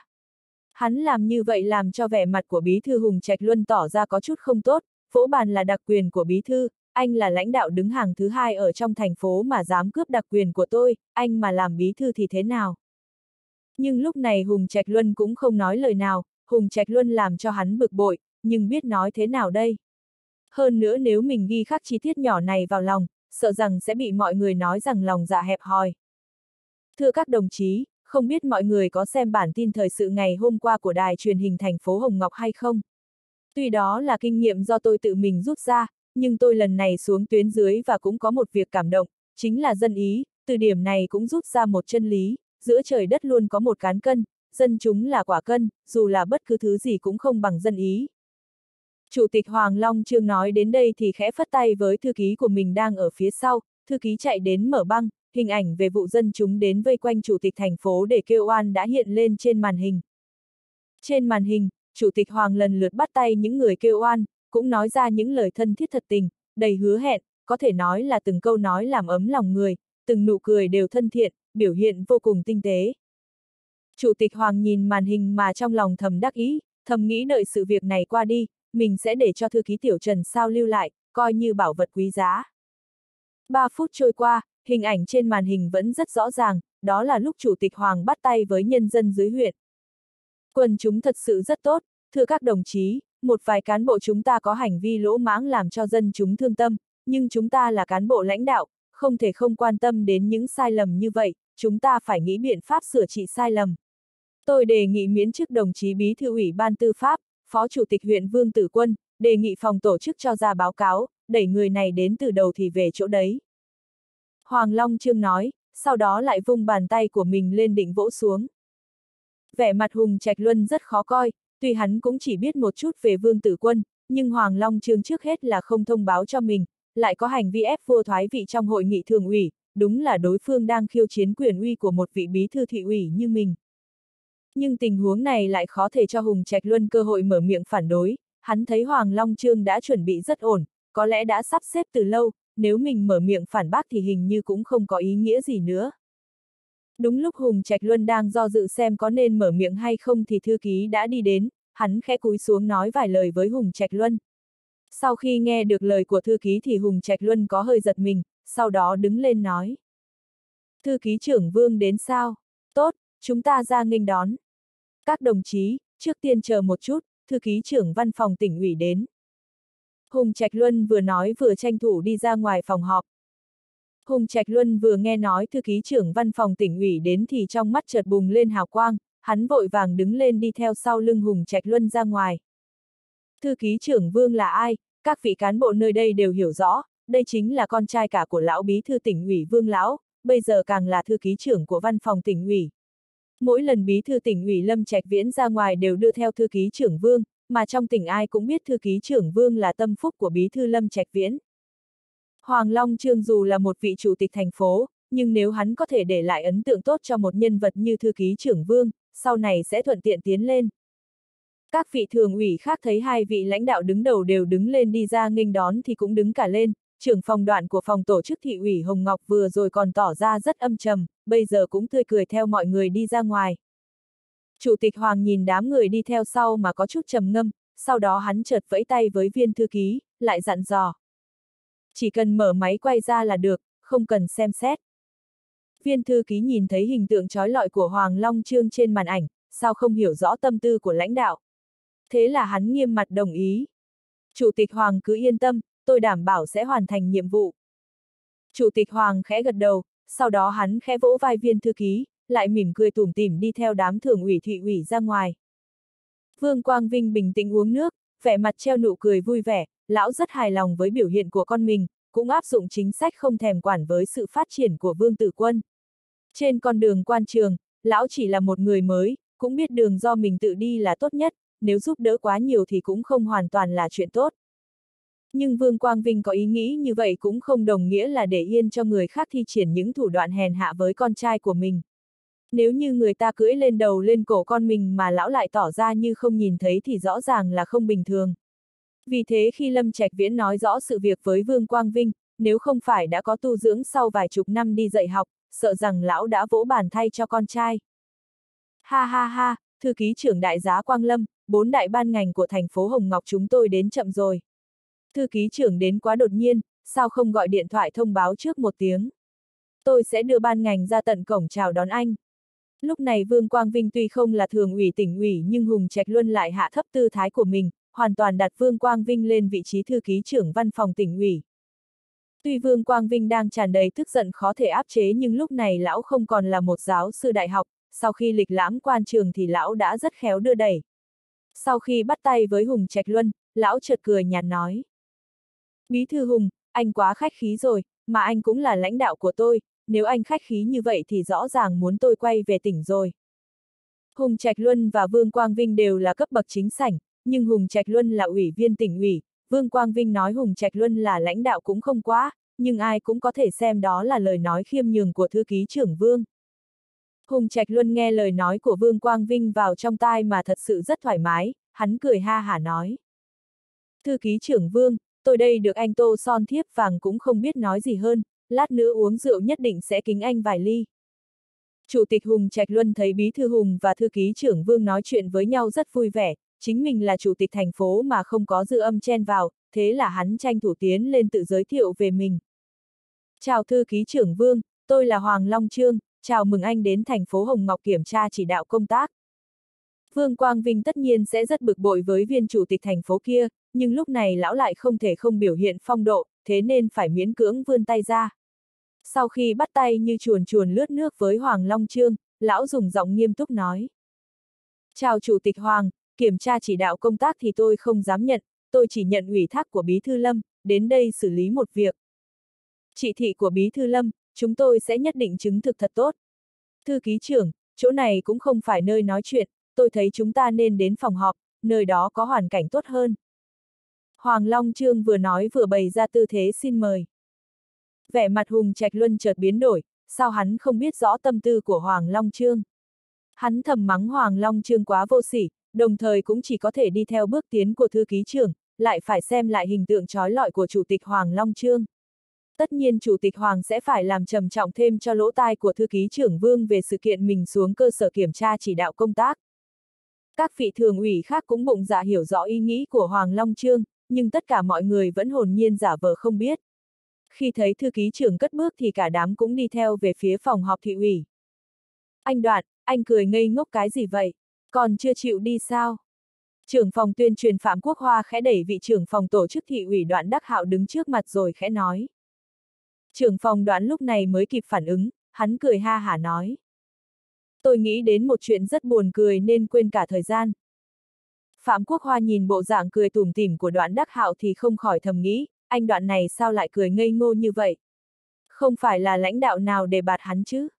Đoàn người đi đến phòng họp dưới sự dẫn dắt của Bí thư Hùng Trạch Luân, Vương Quang Vinh vừa vào phòng họp thì thấy hình ảnh Chủ tịch Hoàng Long Trương đang bắt tay thân thiết với quần chúng, mà gương mặt Chủ tịch Hoàng khi bắt tay với dân chúng lại cực kỳ sáng lạn. Trên đường đi về phòng họp thì Hoàng Long Trương luôn nghĩ đến vấn đề này, bây giờ thấy ánh mắt của Vương Quang Vinh nhìn lên màn hình, trong lòng hắn thật sự còn sảng khoái hơn lúc hoạt động thể dục với hai cô gái trẻ. Nhưng lúc này hắn lại dùng giọng cực kỳ đau thương nói. Thư ký trưởng, vừa rồi chúng tôi đang họp, nói đến chuyện này cũng thật sự đau lòng. Thư ký trưởng, một vị bí thư ủy ban tư pháp lại lạm dụng chức quyền để báo thù, bắt người giàu nhất trong huyện, nói lãnh đạo một nhà máy vĩ đại là tội phạm, sự việc này thật sự làm cho người ta phải giận run người.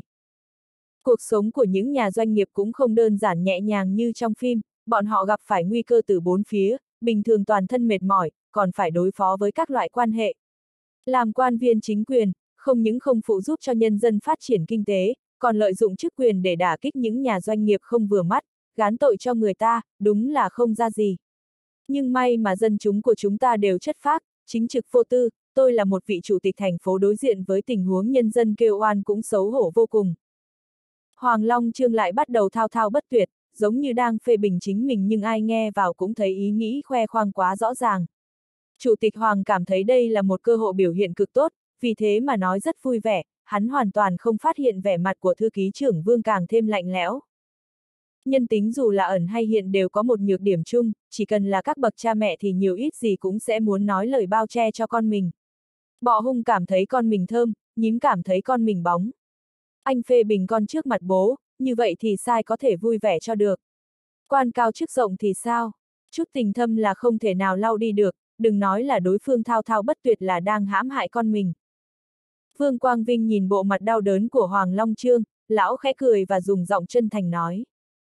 Chủ tịch Hoàng có ý chí lấy dân làm gốc, điều này thật sự đáng giá cho chúng ta học tập. Chủ tịch Hoàng, sao anh không cho chúng tôi xem xét đoạn phim này từ đầu đến cuối một lượt? Lời nói của Vương Quang Vinh giống như một dòng suối mát rót vào trong lòng Hoàng Long Trương, lời đề nghị của thư ký trưởng quả nhiên là gãi đúng chỗ ngứa. Gương mặt Hoàng Long Trương chợt tươi giói như đóa hoa màu gà, giống như thấy thư ký trưởng tán thưởng mình, sau khi quay về sẽ báo cáo cho bí thư tỉnh ủy, bí thư Lâm sẽ nói lời tán thưởng về mình.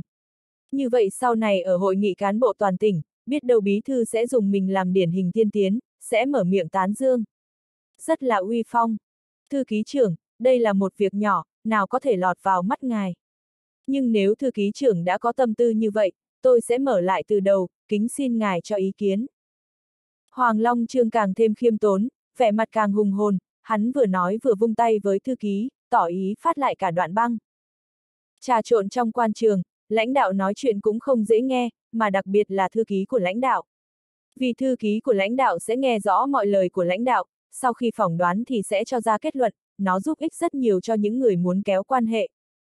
Nói tiền bạc là tội ác thì cũng không đúng, nếu nói mỹ nữ gây họa thì là mơ tưởng, nói lên cao thì sẽ lạnh, thật sự ai cũng bỏ lên, nói rượu làm tổn hại cơ thể nhưng cũng không ai bỏ, nói thiên đường là nơi đẹp nhất, cớ sao không ai chịu đi. Đám người trong quan trường muốn phát triển mạnh mẽ thì đều phải có năng lực, đầu óc và miệng lưỡi, ai cũng hiểu năm chân lý trên. Vì vậy Hoàng Long Trương tuy nói ra những lời khiêm tốn nhưng thư ký Tiểu Trần lại không xem đó là thật, hắn lập tức mở lại cuốn phim từ đầu, hình ảnh chủ tịch thành phố tiếp kiến nhân dân kêu oan lại xuất hiện. Vương Quang Vinh lẳng lặng xem phim, các vị thường ủy khác tuy không thích cũng chỉ có thể ra vẻ là đang xem, nhân vật chính của cuốn phim là Hoàng Long Trương càng cố gắng mở miệng giảng giải cho thư ký trưởng Vương Quang Vinh. Hình ảnh lại tiếp tục quay đến thời điểm Hoàng Long Trương bắt tay với dân chúng kêu oan, khi âm thanh kết thúc, tất cả cán bộ trong phòng họp đều yên lặng, ai cũng đưa mắt nhìn Vương Quang Vinh. Lúc này chúng ta mời thư ký trưởng Vương nói vài lời. Hoàng Long Trương rất linh mẫn, lời nói này đáng lý phải là của Hùng Trạch Luân, nhưng hắn lại lên tiếng cướp đoạt. Còn Hùng Trạch Luân suy nghĩ thế nào thì đây cũng không phải là điều mà Hoàng Long Trương cần lo lắng. Vương Quang Vinh khẽ gật đầu, lão thản nhiên nói. Chủ tịch Hoàng cho tôi nói vài câu, nói thật thì tôi cũng có vài lời cần nói, nhưng trước khi tôi nói thì mời mọi người xem vài thứ. Vương Quang Vinh vung tay lên, nhân viên công tác đi theo Vương Quang Vinh lấy ra một cuộn băng, sau đó bỏ vào trong máy. Thiết bị được lắp đặt ở phòng họp thành phố Hồng Ngọc là rất tốt, hai máy chiếu phim song song, khí khái phi phàm. Thư ký trưởng muốn làm gì, rốt cuộc muốn nói điều gì? Các vị thường ủy thị ủy Hồng Ngọc đều đưa mắt nhìn về phía một màn ảnh khác, một bộ hình ảnh lại xuất hiện trước mắt mọi người. Hình ảnh đầu tiên xuất hiện không phải là danh lam thắng cảnh, không phải là đàn ông anh Tuấn và Mỹ nữ, cũng không phải là phim tài liệu, chính là hình bán thân của một người đàn ông. Người này rất bình thường, ném ra đường sẽ khó thể nào có đặc điểm nào để nhận ra, nhưng lúc này tấm hình vừa xuất hiện thì mọi người không khỏi đưa mắt sang một hình ảnh ở bên cạnh. Hoàng Long Trương không ngờ hình của tên kia lại xuất hiện, nhưng lúc này hắn cũng không biết có gì xảy ra. Quản lão Lục, dân tộc Hán, người huyện XX, vào ngày tháng 5 đã xảy ra xung đột với hàng xóm, đã cầm dao sát hại một nhà bốn người, ngộ hại hai đứa bé chưa đến 10 tuổi. Khi tin tức về tội trạng của anh Lục được công bố, các vị lãnh đạo thành phố Hồng Ngọc lại đưa mắt nhìn sang màn hình bên kia, chính là người đang bắt tay thân thiết với Chủ tịch Hoàng. Đó không phải là quản lão Lục sao? Không biết là ai lên tiếng đầu tiên, ánh mắt đám người thường ủy thị ủy lại nhìn sang Hoàng Long Trương. Hoàng Long Trương cảm thấy đau đầu choáng váng, hắn trợn trừng mắt không thể tin đây là thật, nhưng hai gương mặt quá giống nhau, thật sự giống như hai cái cờ lê đặt cạnh nhau. Thịnh Thanh Long chết tiệt, con bà nó tìm người như vậy sao? Sao lại cho một tên tội phạm giết người đến bắt tay với ông? Sau khi vụ này qua đi, ông sẽ dạy bảo đám khốn kiếp chúng mày một trận. Hoàng Long trương thầm nảy sinh ý nghĩ ác độc, nhưng sau đó lại đặt tất cả tâm tư lên người Vương Quang Vinh. Hắn đã không kịp nghĩ tại sao thư ký trưởng Vương lại có hình ảnh kia, hắn chỉ cố gắng nở nụ cười khô cứng nói. Thư ký trưởng, đây đều là... Hai máy chiếu phim hầu như cùng hoạt động một lúc, trên màn hình bên trái thì Hoàng Long Trương vẫn bắt tay với nhân dân, nhưng đối tượng đã là một người khác. Triệu nhị thần, nam, dân tộc Hán, năm nay 28 tuổi, ngày x tháng x năm x lừa một cô gái vào phòng, hiếp dâm rồi bỏ trốn, ai có tin tức xin liên lạc. Lúc này trong đầu Hoàng Long Trương đã kêu lên ong ong, con bà nó bắt tay với tội phạm giết người, bây giờ lại đổi thành tội phạm hiếp dâm, đây là chuyện gì? Thịnh Thanh Long, con bà mày đáng ghét. Thư ký trưởng, điều này. Hoàng Long Trương muốn giải thích nhưng không biết nói sao cho phải, càng không biết nói từ đâu. Nếu cho hắn có không gian thì hắn sẽ giải thích cẩn thận, nhưng tình huống lúc này quá đột nhiên, hắn không chút chuẩn bị. Lúc này hình ảnh các nhân vật kêu oan liên tục hiện ra trên màn hình, giống như từng nhát búa đập vào lòng hắn chương 208, điều tra đến cùng. Triệu Phú Căn, Nam, dân tộc Hán, người thôn XX huyện XX, ngày tháng năm cùng đồng bọn cướp tiệm vàng, hiện đồng phạm đã bị bắt. Lai lịch của người bắt tay với Hoàng Long Trương lại tiếp tục xuất hiện. Hoàng Long Trương thật sự muốn hôn mê, những người này và hình cảnh của bọn họ giống như Thái Sơn ép xuống đầu, làm cho hắn chóng mặt quay cuồng. Chủ tịch Hoàng cũng thật sự là có dũng khí rất đáng khen, tội phạm giết người, hiếp dâm, cướp bóc, v, v. Người khác 10 ngày nửa tháng chưa được gặp mặt một lần, không ngờ Chủ tịch Hoàng xuống cơ sở một lần đã gặp mặt tất cả quái kiệt. Hi hi, thật sự là khó có được. Phó Bí thư thị ủy Châu Học Nghiên vốn có quan hệ không tốt với Hoàng Long Trương, lúc này có được cơ hội, hắn nào có thể đơn giản bỏ qua. Chủ tịch Hoàng, ngài có bắt tay sai người rồi không? Nếu nói chủ tịch đi kiểm tra giám sát công tác của nhà giam thì tôi còn tin, nếu nói chủ tịch xuống cơ sở gặp quần chúng thì hình như có vẻ hồ đồ. Ném đá xuống giếng, đây rõ ràng là một lời nói dậu đổ bìm leo, Hoàng Long Trương cảm thấy trong lòng như bốc lửa, cả ổ bụng thiêu đốt hừng hực, miệng khô nứt, cổ họng rát bỏng. Khoảnh khắc này hắn hận Châu Ngọc Nghiên đến mức ói máu, nhưng hắn chỉ có thể cam chịu, vì sự việc đã như vậy, hắn có giải thích hay không cũng chẳng được gì. Chủ tịch Hoàng, đây là quần chúng báo án với anh sao? Vương Quang Vinh dùng ánh mắt lạnh lùng nhìn Hoàng Long Trương, sau đó đặt câu hỏi không chút khách khí. Không điều tra thì không có quyền lên tiếng, hơn nữa đây là một việc lớn, sao anh có thể để hiện tượng bên ngoài che mắt mình? Tôi thấy sự việc không đơn giản là như vậy. Hoàng Long Trương vốn đang cúi đầu, bộ dạng chăm chú nghe lời dạy bảo của lãnh đạo. Nhưng câu nói sau đó của Vương Quang Vinh lại càng làm hắn kinh hoàng. Chuyện này Bí Thư Lâm đã biết, anh ấy cho ra chỉ thị, nhất định phải điều tra thật nghiêm, xử lý nghiêm minh, sẽ nghiêm trị không tha những phần tử phạm tội, đồng thời cũng không nuông chiều đám quan viên chính quyền làm ô dù cho đám tội phạm kia. Những lời nói điều tra đến cùng và không nuông chiều rõ ràng là hướng về phía Hoàng Long Trương, Vương Quang Vinh nói chém đinh chặt sắt, cực kỳ có lực, Hoàng Long Trương nghe thấy như vậy thì cơ thể mềm nhún thiếu chút nữa đã ngã khủy xuống. Hùng Trạch Luân dùng ánh mắt ngưng trọng nhìn tình huống đang diễn ra, sau khi Vương Quang Vinh nói xong thì hắn dùng giọng nghiêm túc nói. Các đồng chí, chuyện này đã cho tôi một bài học sâu sắc, may mà có chỉ thị của Bí Thư Lâm và Thư ký trưởng Vương, nếu không chúng ta sẽ bị lưu lạc với công cụ trong tay đám tội phạm. Nếu kết quả là đồng chí của chúng ta bị oan ức, như vậy tôi là Bí Thư cũng có trách nhiệm nặng nề. Hùng Trạch Luân phê bình chính mình, nhưng dù là ai cũng biết Bí Thư đang ánh xạ cho kẻ nào. Chuyện này còn chưa có định luận, Hùng Trạch Luân trước kia còn chưa nói lời nào, bây giờ đã tự nhận trách nhiệm, tự mình tham gia, điều này cũng xem như định tính sự việc của Vương Tử Quân và Vương Quang Vinh, mà trách nhiệm đó là gì? Những trách nhiệm gì nên gánh chịu, tôi nhất định sẽ làm kiểm điểm với tỉnh ủy, nhưng đối với cán bộ chịu oan ức, cũng không thể tiếp tục. Thường ủy huyện ủy Lô Bắc, Bí thư ủy ban tư pháp Phương Tử Quân là một cán bộ có tinh thần đấu tranh với thế lực phi pháp và tà ác, là niềm kiêu ngạo của thành phố Hồng Ngọc chúng ta, đáng giá cho từng cán bộ thành phố học tập theo. Chúng ta cần phải phát huy tinh thần này, đồng thời cũng phải đẩy mạnh hành động diệt ác trừ gian, diệt cỏ tận gốc, tạo ra hoàn cảnh thuận lợi cho sự phát triển của thành phố. Trong hội nghị thường ủy thị ủy Hồng Ngọc, bình thường Bí thư Hùng Trạch Luân nói hai câu thì Chủ tịch Hoàng Long Trương nói hai câu, cuối cùng là Bí thư Hùng Trạch Luân nói lời tổng kết. Nhưng bây giờ Hoàng Long Trương thật sự không thể nói được điều gì, cặp mắt nhìn chằm chằm vào hai màn hình, vẻ mặt biến đổi liên tục.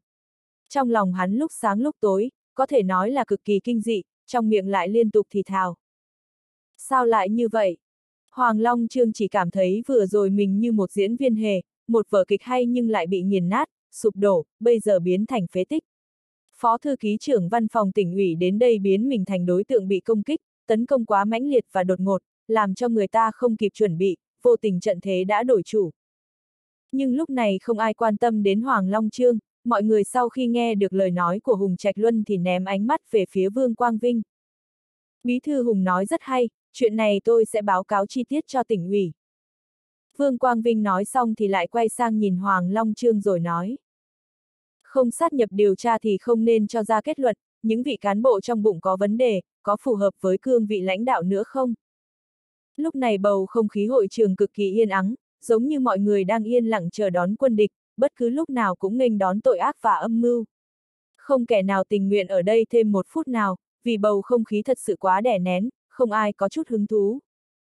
Nửa giờ sau Vương Quang Vinh đã đi, khi vị thư ký trưởng này bỏ đi thì cả thành phố Hồng Ngọc chợt bùng lên một phong trào càn quét đám tội phạm, nhưng còn có một làn sóng truyền ra còn nhanh hơn, đó chính là tin tức chủ tịch thành phố Hoàng Long Trương sắp phải ly khai. Sự thay đổi bất ngờ của thị ủy làm cho cả huyện Lô Bắc không kịp chuẩn bị, khó thể nào đáp ứng kịp. Nhưng tất cả cũng không có liên quan quá lớn đến Vương Tử Quân, phần tử hàng đầu đã xa lưới, những sự việc còn lại là chuyện của hệ thống công an kiểm sát tư pháp.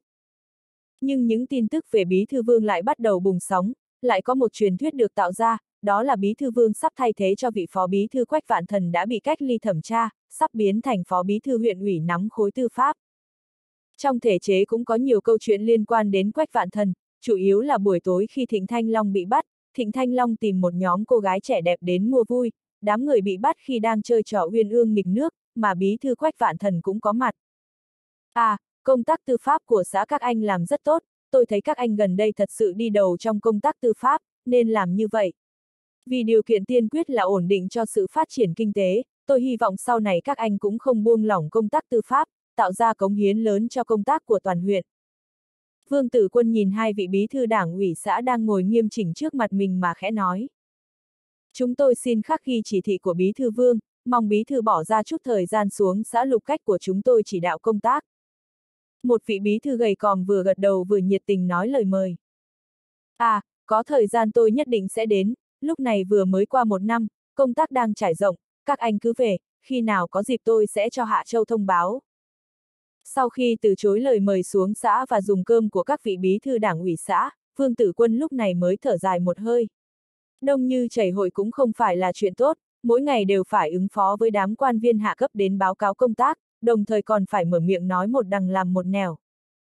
Bí thư Vương, Thịnh Thanh Long đã mở miệng, nhưng hắn chỉ khai ra quách vạn thần, cũng không đề cập đến chuyện của Hoàng Long Trương. Tôn Hạ Châu cầm một phần văn kiện trong tay rồi khẽ nói với Vương Tử Quân. Vương Tử Quân khẽ gật đầu, hắn cũng không có gì bất ngờ với chuyện này. Hắn khẽ cười nói. Hắn vẫn còn có chút hy vọng, thế này đi, cậu nói người của Viện Kiểm sát và Tòa án, để bọn họ phá án cực kỳ cẩn thận, cần phát động quần chúng tham gia hoàn thiện án kiện lần này, phải cho những kẻ phạm tội phải nhận lấy sự trừng phạt tương ứng. Nếu những tên tội phạm phải gánh chịu trách nhiệm cho tất cả hành vi phạm tội của mình, chỉ sợ bọn họ chết cũng không hết tội. Tôn Hạ Châu thầm nghĩ như vậy, thầm đánh giá về những định luận của Viện Kiểm sát. Hôm nay có sắp xếp gì không? Vương Tử Quân nhìn Tôn Hạ Châu rồi dùng giọng nhàn nhạt nói. Không có, Bí Thư Vương. Tôn Hạ Châu có chút trầm ngâm, sau đó hắn nói tiếp. Cục trưởng Cục Điện lực Ngụy Sinh Tân muốn mời anh dùng cơm, không biết anh có rảnh không? Cậu nói với anh ấy, buổi tối tôi đã có chuyện cần giải quyết. Vương Tử Quân khẽ phất tay áo với Tôn Hạ Châu rồi khẽ nói. Buổi tối thật sự là Vương Tử Quân có chuyện, cũng không phải là từ chối xuông. Ngày mai Lâm Dĩnh Nhi sẽ khai giảng, dù thế nào thì hắn cũng phải tiễn chân nàng. Hơn nữa hôm nay là người nhà Giang Gia Kỳ làm tiệc mời khách, coi như tiễn chân Lâm Dĩnh Nhi và Giang Gia Kỳ. Cốc, cốc, cốc. Khi Vương Tử Quân đang cảm thấy có chút nuối tiếc vì Lâm Dĩnh Nhi phải đi thì tiếng gõ cửa khẽ vang lên, sau đó giám đốc nhà khách Trần Vân Đạt thò nửa đầu vào. Chào Bí Thư Vương. Trần Vân Đạt thấy trong phòng của Vương Tử Quân không có ai thì trên mặt chợt lộ ra nụ cười khiêm tốn, hắn cung kính đi đến trước mặt Vương Tử Quân, sau đó đưa đến một gói thuốc. Vương Tử Quân khẽ gật đầu. Giám đốc Trần, mời anh ngồi. Bí thư Vương, tôi đến làm kiểm điểm với anh, chính tôi không làm tốt công tác, có một nhân viên phục vụ mới không biết quy củ đã đi thu lệ phí, rõ ràng là thu tiền phòng của đồng chí Lâm. Sau khi tôi biết đã phê bình một chặp, còn khai trừ cả tên nhân viên phục vụ kia. Trần Vân Đạt vừa nói vừa đặt một sấp tiền lên bàn làm việc của Vương Tử Quân, hắn cúi đầu xuống, bộ dạng lúc nào cũng có thể tiếp nhận lời phê bình của Vương Tử Quân. Vương Tử Quân thật sự không biết chuyện nhà khách thu tiền của Lâm Dĩnh Nhi, sao lại có sự việc thế này. Hắn chợt nghi ngờ, ngay sau đó đã hiểu có chuyện gì xảy ra. Cái gì mà không hiểu quy củ, không phải Trần Vân Đạt thấy mình sắp bị điều đi, cố ý sai người làm như vậy à? Bây giờ đối phương lại đến cầu xin tha thứ, rõ ràng là không biết xấu hổ. Vương Tử Quân cũng có chút xem thường ánh mắt quá thấp kém của Trần Vân Đạt, lúc mình đắc ý thì đối phương cố gắng nịnh hót, khi mình có hơi xa cơ thì đã vội vàng cho người đến đòi tiền của Lâm Dĩnh Nhi, không phải đánh lên mặt mình sao? Ăn cơm ở trọ thì phải trả tiền, đây là sự thật không thể chối cãi. Giám đốc Trần, tiền này anh cứ lấy đi, nếu thiếu thì tôi sẽ bù thêm vào. Vương Tử Quân vung tay lên dùng giọng nhàn nhạt tỏ ý cho Trần Vân Đạt tranh thủ cầm tiền đi ra. Lúc này trong lòng Trần Vân Đạt giống như xuất hiện mưa đá, vừa lạnh vừa đau. Sau khi anh em thịnh ra lại xa lưới thì Trần Vân Đạt giống như ăn phải ruồi bọ, trong bụng giống như có cả trăm con chuột cào cấu, thầm hận mình quá thiển cận, không phải chỉ có vài trăm đồng sao. Người ta nịnh bợ còn chưa kịp, mình thì đúng thời điểm lại đến đòi tiền. Bây giờ thì tốt, Bí Thư Vương không những bình yên vô sự, còn ngồi vững chãi như núi Thái Sơn. Mắng cũng quá tốt, chỉ cần Bí Thư Vương mắng cũng là quá tốt rồi, Trần Vân Đạt lúc này hy vọng Bí Thư chửi mắng mình, nhưng khốn nổi Bí Thư lại tỏ ra cực kỳ bình thản, điều này làm hắn cực kỳ sợ hãi. Bí Thư Vương, tôi sai rồi, mong anh cho tôi một cơ hội đoái công chuộc tội, tôi é nhất định cố gắng công tác, tuyệt đối không xa vào sai lầm như vậy nữa. Trần Vân Đạt cúi đầu dùng giọng kiểm điểm nói với Vương Tử Quân. Vương Tử Quân cũng không có tâm tư muốn nghe những lời tự kiểm điểm của Trần Vân Đạt, hắn phất tay nói. Anh đi mau lên, tôi còn có việc. Trần Vân Đạt thấy Vương Tử Quân đen mặt thì cũng không dám dây dưa quá nhiều, hắn cầm lấy số tiền trên bàn rồi đi ra ngoài cửa. Sau khi Trần Vân Đạt rời khỏi phòng thì Vương Tử Quân cầm lấy điện thoại trên bàn lên, sau đó bấm một dãy số. Alo, chủ nhiệm Tiếu phải không? Đầu dây bên kia nhanh chóng truyền đến tiếng cười cởi mở của Tiếu Tử Đông. Ha ha, Bí Thư Vương hôm nay sao lại có thời gian rảnh gọi cho thuộc hạ thế này, có phải là muốn để thuộc hạ chuẩn bị vài món để say sưa một bữa cho vui không? Vương Tử Quân cười cười, Tiếu Tử Đông này không biết đã trở nên thân cận với mình từ khi nào. Hắn biết rõ sự thân cận này không phải là vô duyên vô cớ, nếu thân ở trong quan trường thì có một quy củ nhất định phải hiểu, nước quá trong không có cá, có một số việc khó thể nào làm cho tốt, không có bạn bè vĩnh viễn, không có lợi ích vĩnh viễn. Tôi cũng muốn anh mua rượu và chuẩn bị đồ nhắm, nhưng hôm nay tôi đã bận. Thế này đi, ngày mai tôi sẽ mời anh. Vương Tử Quân vừa nói vừa khẽ gõ xuống bàn, lại dùng giọng tùy ý nói. Anh Thiếu, anh cảm thấy giám đốc nhà khách Trần Vân Đạt là thế nào? Lãnh đạo, xem ra tôi thật sự có cảm ứng tâm linh, tôi đang muốn báo cáo chuyện này với anh, tôi cũng vừa báo cáo với Phó Bí Thư Trần Lộ Giao, Giám đốc Trần Vân Đạt những năm qua luôn nghiên cẩn công tác, lại vất vả cho ra công lao lớn, nếu cứ để một vị đồng chí như vậy ở cấp phó khoa thì cũng bất lợi cho sự phát triển của các đồng chí trẻ tuổi. Bí thư Trần đã đồng ý theo ý kiến của tôi, quyết định cho đồng chí Trần Vân Đạt đến làm cục trưởng cục tôn giáo. Cục trưởng cục tôn giáo là cấp chính khoa, nghe thì có vẻ rất tốt, nhưng trong toàn huyện Lô Bắc thì cục tôn giáo chỉ có một vị cục trưởng và hai vị khoa viên. Nếu từ vị trí giám đốc nhà khách chuyển sang cục trưởng cục tôn giáo thì thật sự là cách biệt trời vực. Vương Tử Quân khẽ gật đầu rồi dùng giọng khẳng định nói. À, chúng ta cũng nên đề bạt các đồng chí có biểu hiện tốt, cần phải gia tăng trọng trách cho các đồng chí nổi tiếng. Đồng chí Trần Vân Đạt thật sự rất tốt, anh ấy nhận chức sẽ làm công tác tôn giáo của huyện Lô Bắc chúng ta thêm đặc sắc. Hai người kết thúc cuộc nói chuyện, Vương Tử Quân lộ ra nụ cười vui vẻ, trong lòng thầm nghĩ, xem ra chuyện Trần Vân Đạt thu tiền phòng của mình đã được rất nhiều người biết đến chương 209, em là hoa hồng của anh. Gió đầu xuân đã có chút ấm áp, gió khẽ quét lên mặt người, dịu dàng, triền miên, xanh tươi ướt át, không giống như những ngọn gió mùa đông, lúc này Lâm Dĩnh Nhi mới cảm thấy có vẻ hơi nóng. Lâm Dĩnh Nhi cũng không biết từ lúc nào mình hay nói chuyện tình yêu, khi cùng nói chuyện với Giang Gia Kỳ, cái gì cũng có thể nói được, nhưng cô gái này lại không ý thức được những gì đang xảy ra. Giống như nước chảy về đông, những lời của Lâm Dĩnh Nhi dù mở đầu như thế nào, đến cuối cùng nó cũng chảy về một nơi, về một đại dương mênh mông, là nơi có thể chứa tất cả cảm giác ấm áp và hạnh phúc của nàng. Lúc này hai mắt nàng như làn thu thủy, âm thanh của nàng mềm mại như những bong bóng nước. Chính Lâm Dĩnh Nhi còn hồn nhiên chưa phát hiện ra, nhưng Giang Gia Kỳ là một bạn học tốt của nàng ở trong trường đại học lại mẫn cảm phát hiện ra một vấn đề, đó là cô bạn gái thiên tài, thông minh mà mình cực kỳ hâm mộ này có tám phần đã thích vương tử quân kia rồi. Có một ngày hai người dạo chơi ngoài đường, khi đến quán quả vặt mua vài món ăn, Giang Gia Kỳ cắt ngang lời Lâm Dĩnh Nhi. Dĩnh Nhi, tốt nghiệp cậu sẽ kết hôn với anh ấy sao? Lâm Dĩnh Nhi ngây cả người, câu hỏi của Giang Gia Kỳ làm cho nàng hầu như không kịp chuẩn bị, làm cho trái tim của nàng nhảy lên như một chú nai con tung tăng trong rừng. Nhưng nàng cũng không biết nên trả lời thế nào, thế là gương mặt đỏ ửng, nàng giả vờ cả giận nói. Cái gì, người ta còn chưa tốt nghiệp mà, có tâm tư nào để suy xét đến đối tượng kết hôn? Từ ngày đó thì người kia giống như đã tiến vào thâm căn cố đế trong lòng nàng, có đôi khi Lâm Dĩnh Nhi nghĩ rằng hắn giống như một tâm linh hạt giống đang ngủ say thuần khiết trong người mình, mà hạt giống này nếu có hơi nước tẩm bổ sẽ phát triển bành trướng, sẽ đâm chồi, sẽ vượt qua tất cả chướng ngại để ra hoa kết quả.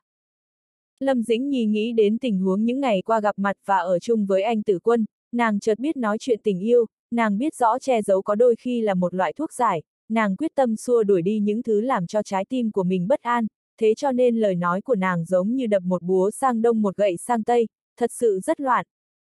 Bố mẹ của Giang Gia Kỳ sắp xếp tiệc tiến con đi học tại quán ăn giáp ngư thôn, Vương Tử Quân nhìn vào giáp ngư thôn với ánh đèn chói mắt, không khỏi kéo mũ trùm đầu lại.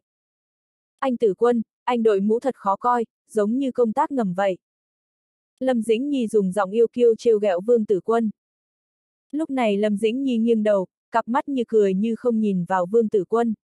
Lâm Dĩnh Nhi đến huyện Lô Bắc đều mang theo những trang phục nghỉ ngơi, nhưng dù là chiếc quần jean bình thường mặc lên người nàng thì lại biến thành không bình thường, trở nên nhẹ nhàng thoải mái, vô cùng đơn giản nhưng lại sinh ra cảm giác chói mắt. Lúc này Lâm Dĩnh Nhi với gương mặt no đủ trải đầy ánh sáng, ấm áp và sạch sẽ.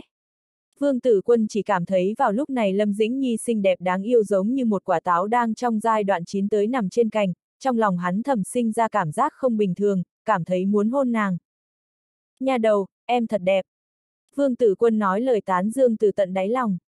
Lâm Dĩnh Nhi dùng ánh mắt bối rối nhìn khắp bốn phía, cũng không có bất kỳ ai và bất kỳ thứ gì khác thường, không ai nghe được những lời này, cũng không ai để ý đến những lời như vậy. Anh Tử Quân nói gì vậy nhỉ? À, đúng rồi, là khen mình đẹp, cảm giác này thật sự rất tốt, giống như một dòng nước ấm chảy vào trong lòng, lại chảy lòng vòng mới chết. Lâm Dĩnh Nhi cảm thấy mình đang khẽ rung lắc trong dòng nước ấm như vậy, nàng giống như một người đang hoan lạc và run rẩy trong hạnh phúc được che đậy kỹ càng, vĩnh viễn khó thể nào thoát ra. Lúc này hai má lún đồng tiền trên mặt cũng xuất hiện, rõ ràng là tràn đầy vui vẻ và hạnh phúc.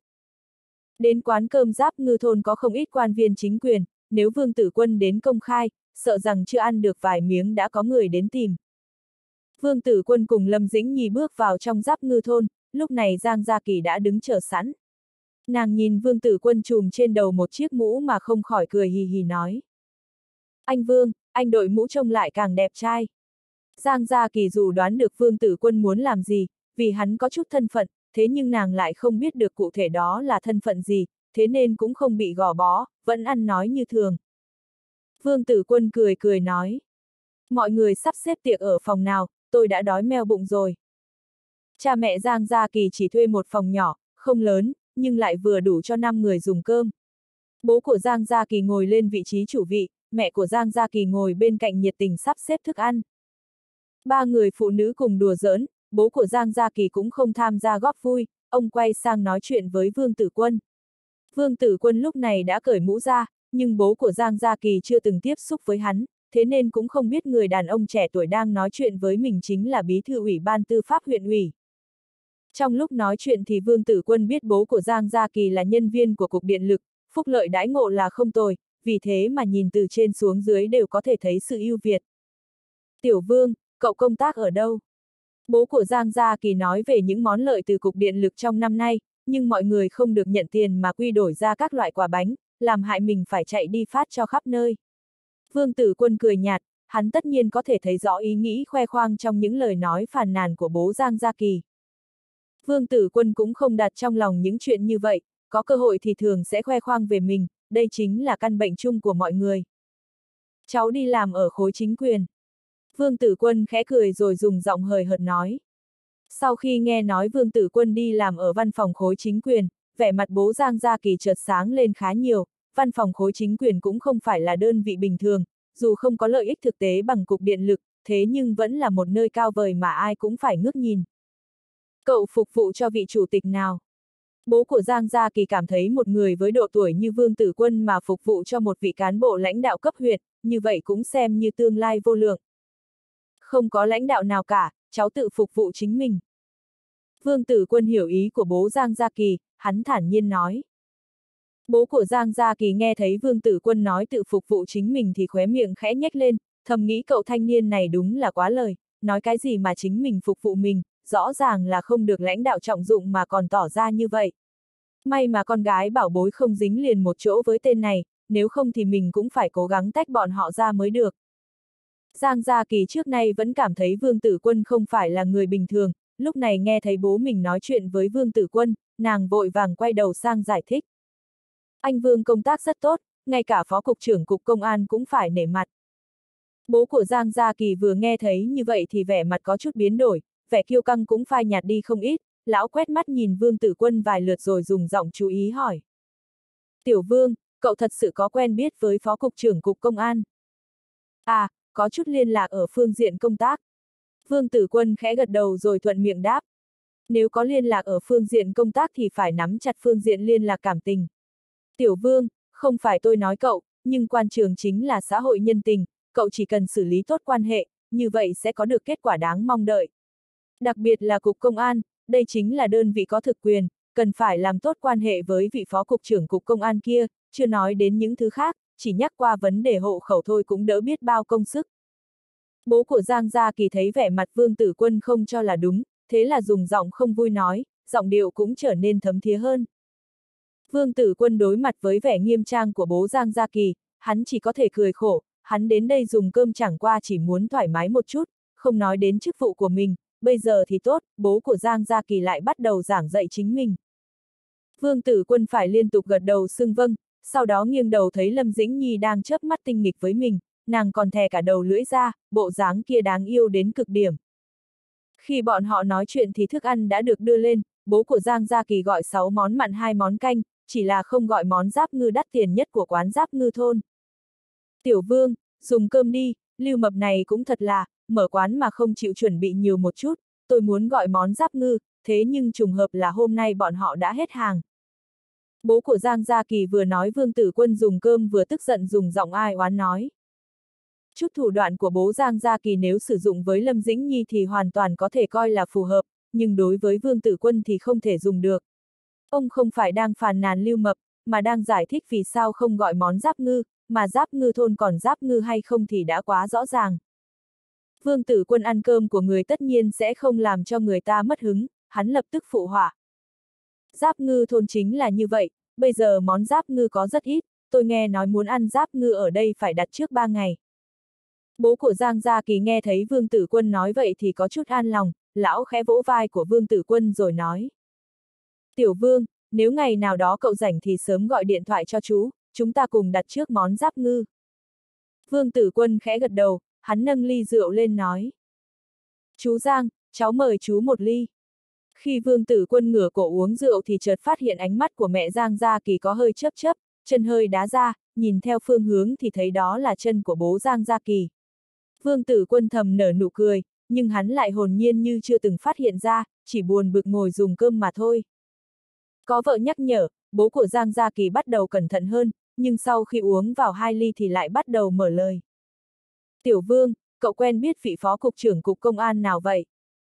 Trương Tân Dương. Vương Tử Quân vừa gắp một miếng thức ăn bỏ vào miệng lại vừa lên tiếng. Tiểu Vương, chúng ta hôm nay gặp mặt, đáng lý ra chú cũng không muốn nói nhiều, nhưng hai chúng ta vừa gặp đã thân quen, ai bảo Kỳ Kỳ là bạn học của bạn cậu. Chú cũng không coi cậu là người ngoài, thế nên nhắc nhở cậu một câu, chính là trà trộn trong quan trường thì cũng cần chú ý đến những chi tiết dù là nhỏ nhặt. Bây giờ cậu nói ra tên của Cục trưởng Trương Tân Dương, cậu không che đậy miệng, nói quá tùy ý. Nếu cậu ăn cơm trong nhà thì không có vấn đề, nhưng nếu ăn cơm với người ngoài mà nói như vậy, lời nói lại rơi vào trong tai của Cục trưởng Trương, như vậy sau này nó sẽ quyết định đến sự thành bại trong quan hệ của cậu. Bố của Giang Gia Kỳ nói ra những lời rất thấm thía, Phương Tử Quân nhìn biểu hiện ngưng trọng của lão, thầm nghĩ đây thật sự giống như một vị cán bộ lão thành. Bố của Giang Gia Kỳ nói ra những lời như vậy thật sự là không sai, Vương Tử Quân cũng thật sự rất chú ý đến những điều này. Bố của Giang Gia Kỳ dù nói có hơi quá lời nhưng lại là một người tốt, Vương Tử Quân chợt sinh ra chút hảo cảm với lão, thế nên hắn nâng ly nói. Cảm ơn chú dạy bảo, sau này cháu nhất định sẽ chú ý. Bố của Giang Gia Kỳ cũng là một người bị chèn ép trong chính nhà mình, bây giờ thấy Vương Tử Quân tôn kính mình như vậy, thế là vẻ mặt trở nên hồng hào, lão uống cạn một ly rượu, sau đó đặt ly xuống nói. Cậu cần phải làm tốt quan hệ với cục trưởng trương, cậu biết cục trưởng trương là người của ai không? Không đợi Vương Tử Quân trả lời, bố của Giang Gia Kỳ đã nói.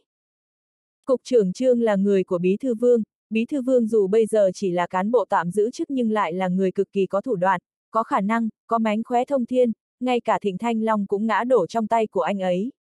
Cậu nói xem, đi theo một người như vậy thì tương lai của cục trưởng trương sẽ thế nào? Vương Tử Quân lần đầu tiên nghe được người ta đánh giá về mình như vậy, hắn cũng có chút lâng lâng. Hắn vừa rót rượu cho bố của Giang Gia Kỳ vừa nói. Chú Giang, chú nói những lời vàng ngọc, cháu thật sự cảm thấy rất đúng, cháu cũng hiểu tương lai của cục trưởng trương là vô hạn. Khi Vương Tử Quân đặt ly rượu xuống thì lại vô tình đưa mắt nhìn Lâm Dĩnh Nhi, thấy nha đầu kia liếc mắt nhìn mình, rõ ràng là cười nhạo hắn. Bố của Giang Gia Kỳ gặp chi Kỳ thì ngàn ly cũng coi là ít, thế là chỉ sau một lát thì gương mặt càng đỏ hồng. Mẹ của Giang Gia Kỳ thấy như vậy cũng không vui, nhưng bây giờ có mặt Lâm Dĩnh Nhi và Vương Tử Quân, vẫn muốn để cho chồng mình có chút mặt mũi. Tiểu Vương, cậu cứ ngồi đây đi, tôi ra ngoài một chút. Bố của Giang Gia Kỳ uống hơi nhiều nước, bây giờ chợt đứng lên nói với Vương Tử Quân. Sau khi chồng ra ngoài, mẹ của Giang Gia Kỳ lên tiếng với Vương Tử Quân. Tiểu Vương, chú Giang của cậu là một người như vậy đấy, nếu nói sai câu nào thì cậu cũng đừng để bụng. Vương Tử Quân cười cười nói. Chú Giang là người tốt, chú ấy nếu không coi cháu là người nhà thì sẽ không nói ra những lời như vậy, cũng làm cháu rút ra được nhiều bài học. Mẹ của Giang Gia Kỳ thầm gật đầu, thầm nghĩ cậu thanh niên nà rõ khéo ăn nói, thật sự mạnh hơn Tiểu Huy kia rất nhiều, đáng tiếc là cậu ta lại thích Lâm Dĩnh Nhi, con gái của mình cũng không có cơ hội. Có câu nói mẹ vợ nhìn con rể, càng nhìn càng thích, lúc này mẹ của Giang Gia Kỳ đưa mắt nhìn Vương Tử Quân, càng nhìn càng thấy thân thiết và hợp mắt. Ôi, thì ra cục trưởng ngụy cũng mời khách ở giáp ngư thôn, Thúy Nga, chúng ta tranh thủ đi kính rượu lãnh đạo. Bố của Giang Gia Kỳ đi vào trong phòng, sau đó lão đóng cửa lại và nói với vợ. Mẹ của Giang Gia Kỳ nghe nói cục trưởng ngụy có mặt ở đây, thế là vẻ mặt cũng rất vui. Được, nhanh lên, cơ hội tốt như vậy cũng không thể bỏ qua được. Tiểu Vương, hai người dùng cơm trước, tôi và chú Giang của cậu đến chúc lãnh đạo một ly. Vương Tử Quân cười cười nói. Dì và chú cứ bận rộn, không cần phải quan tâm đến chúng cháu làm gì cả. Bố mẹ của Giang Gia Kỳ khẽ cười với Vương Tử Quân, sau đó lại kéo Giang Gia Kỳ đang rất không tình nguyện ra khỏi phòng.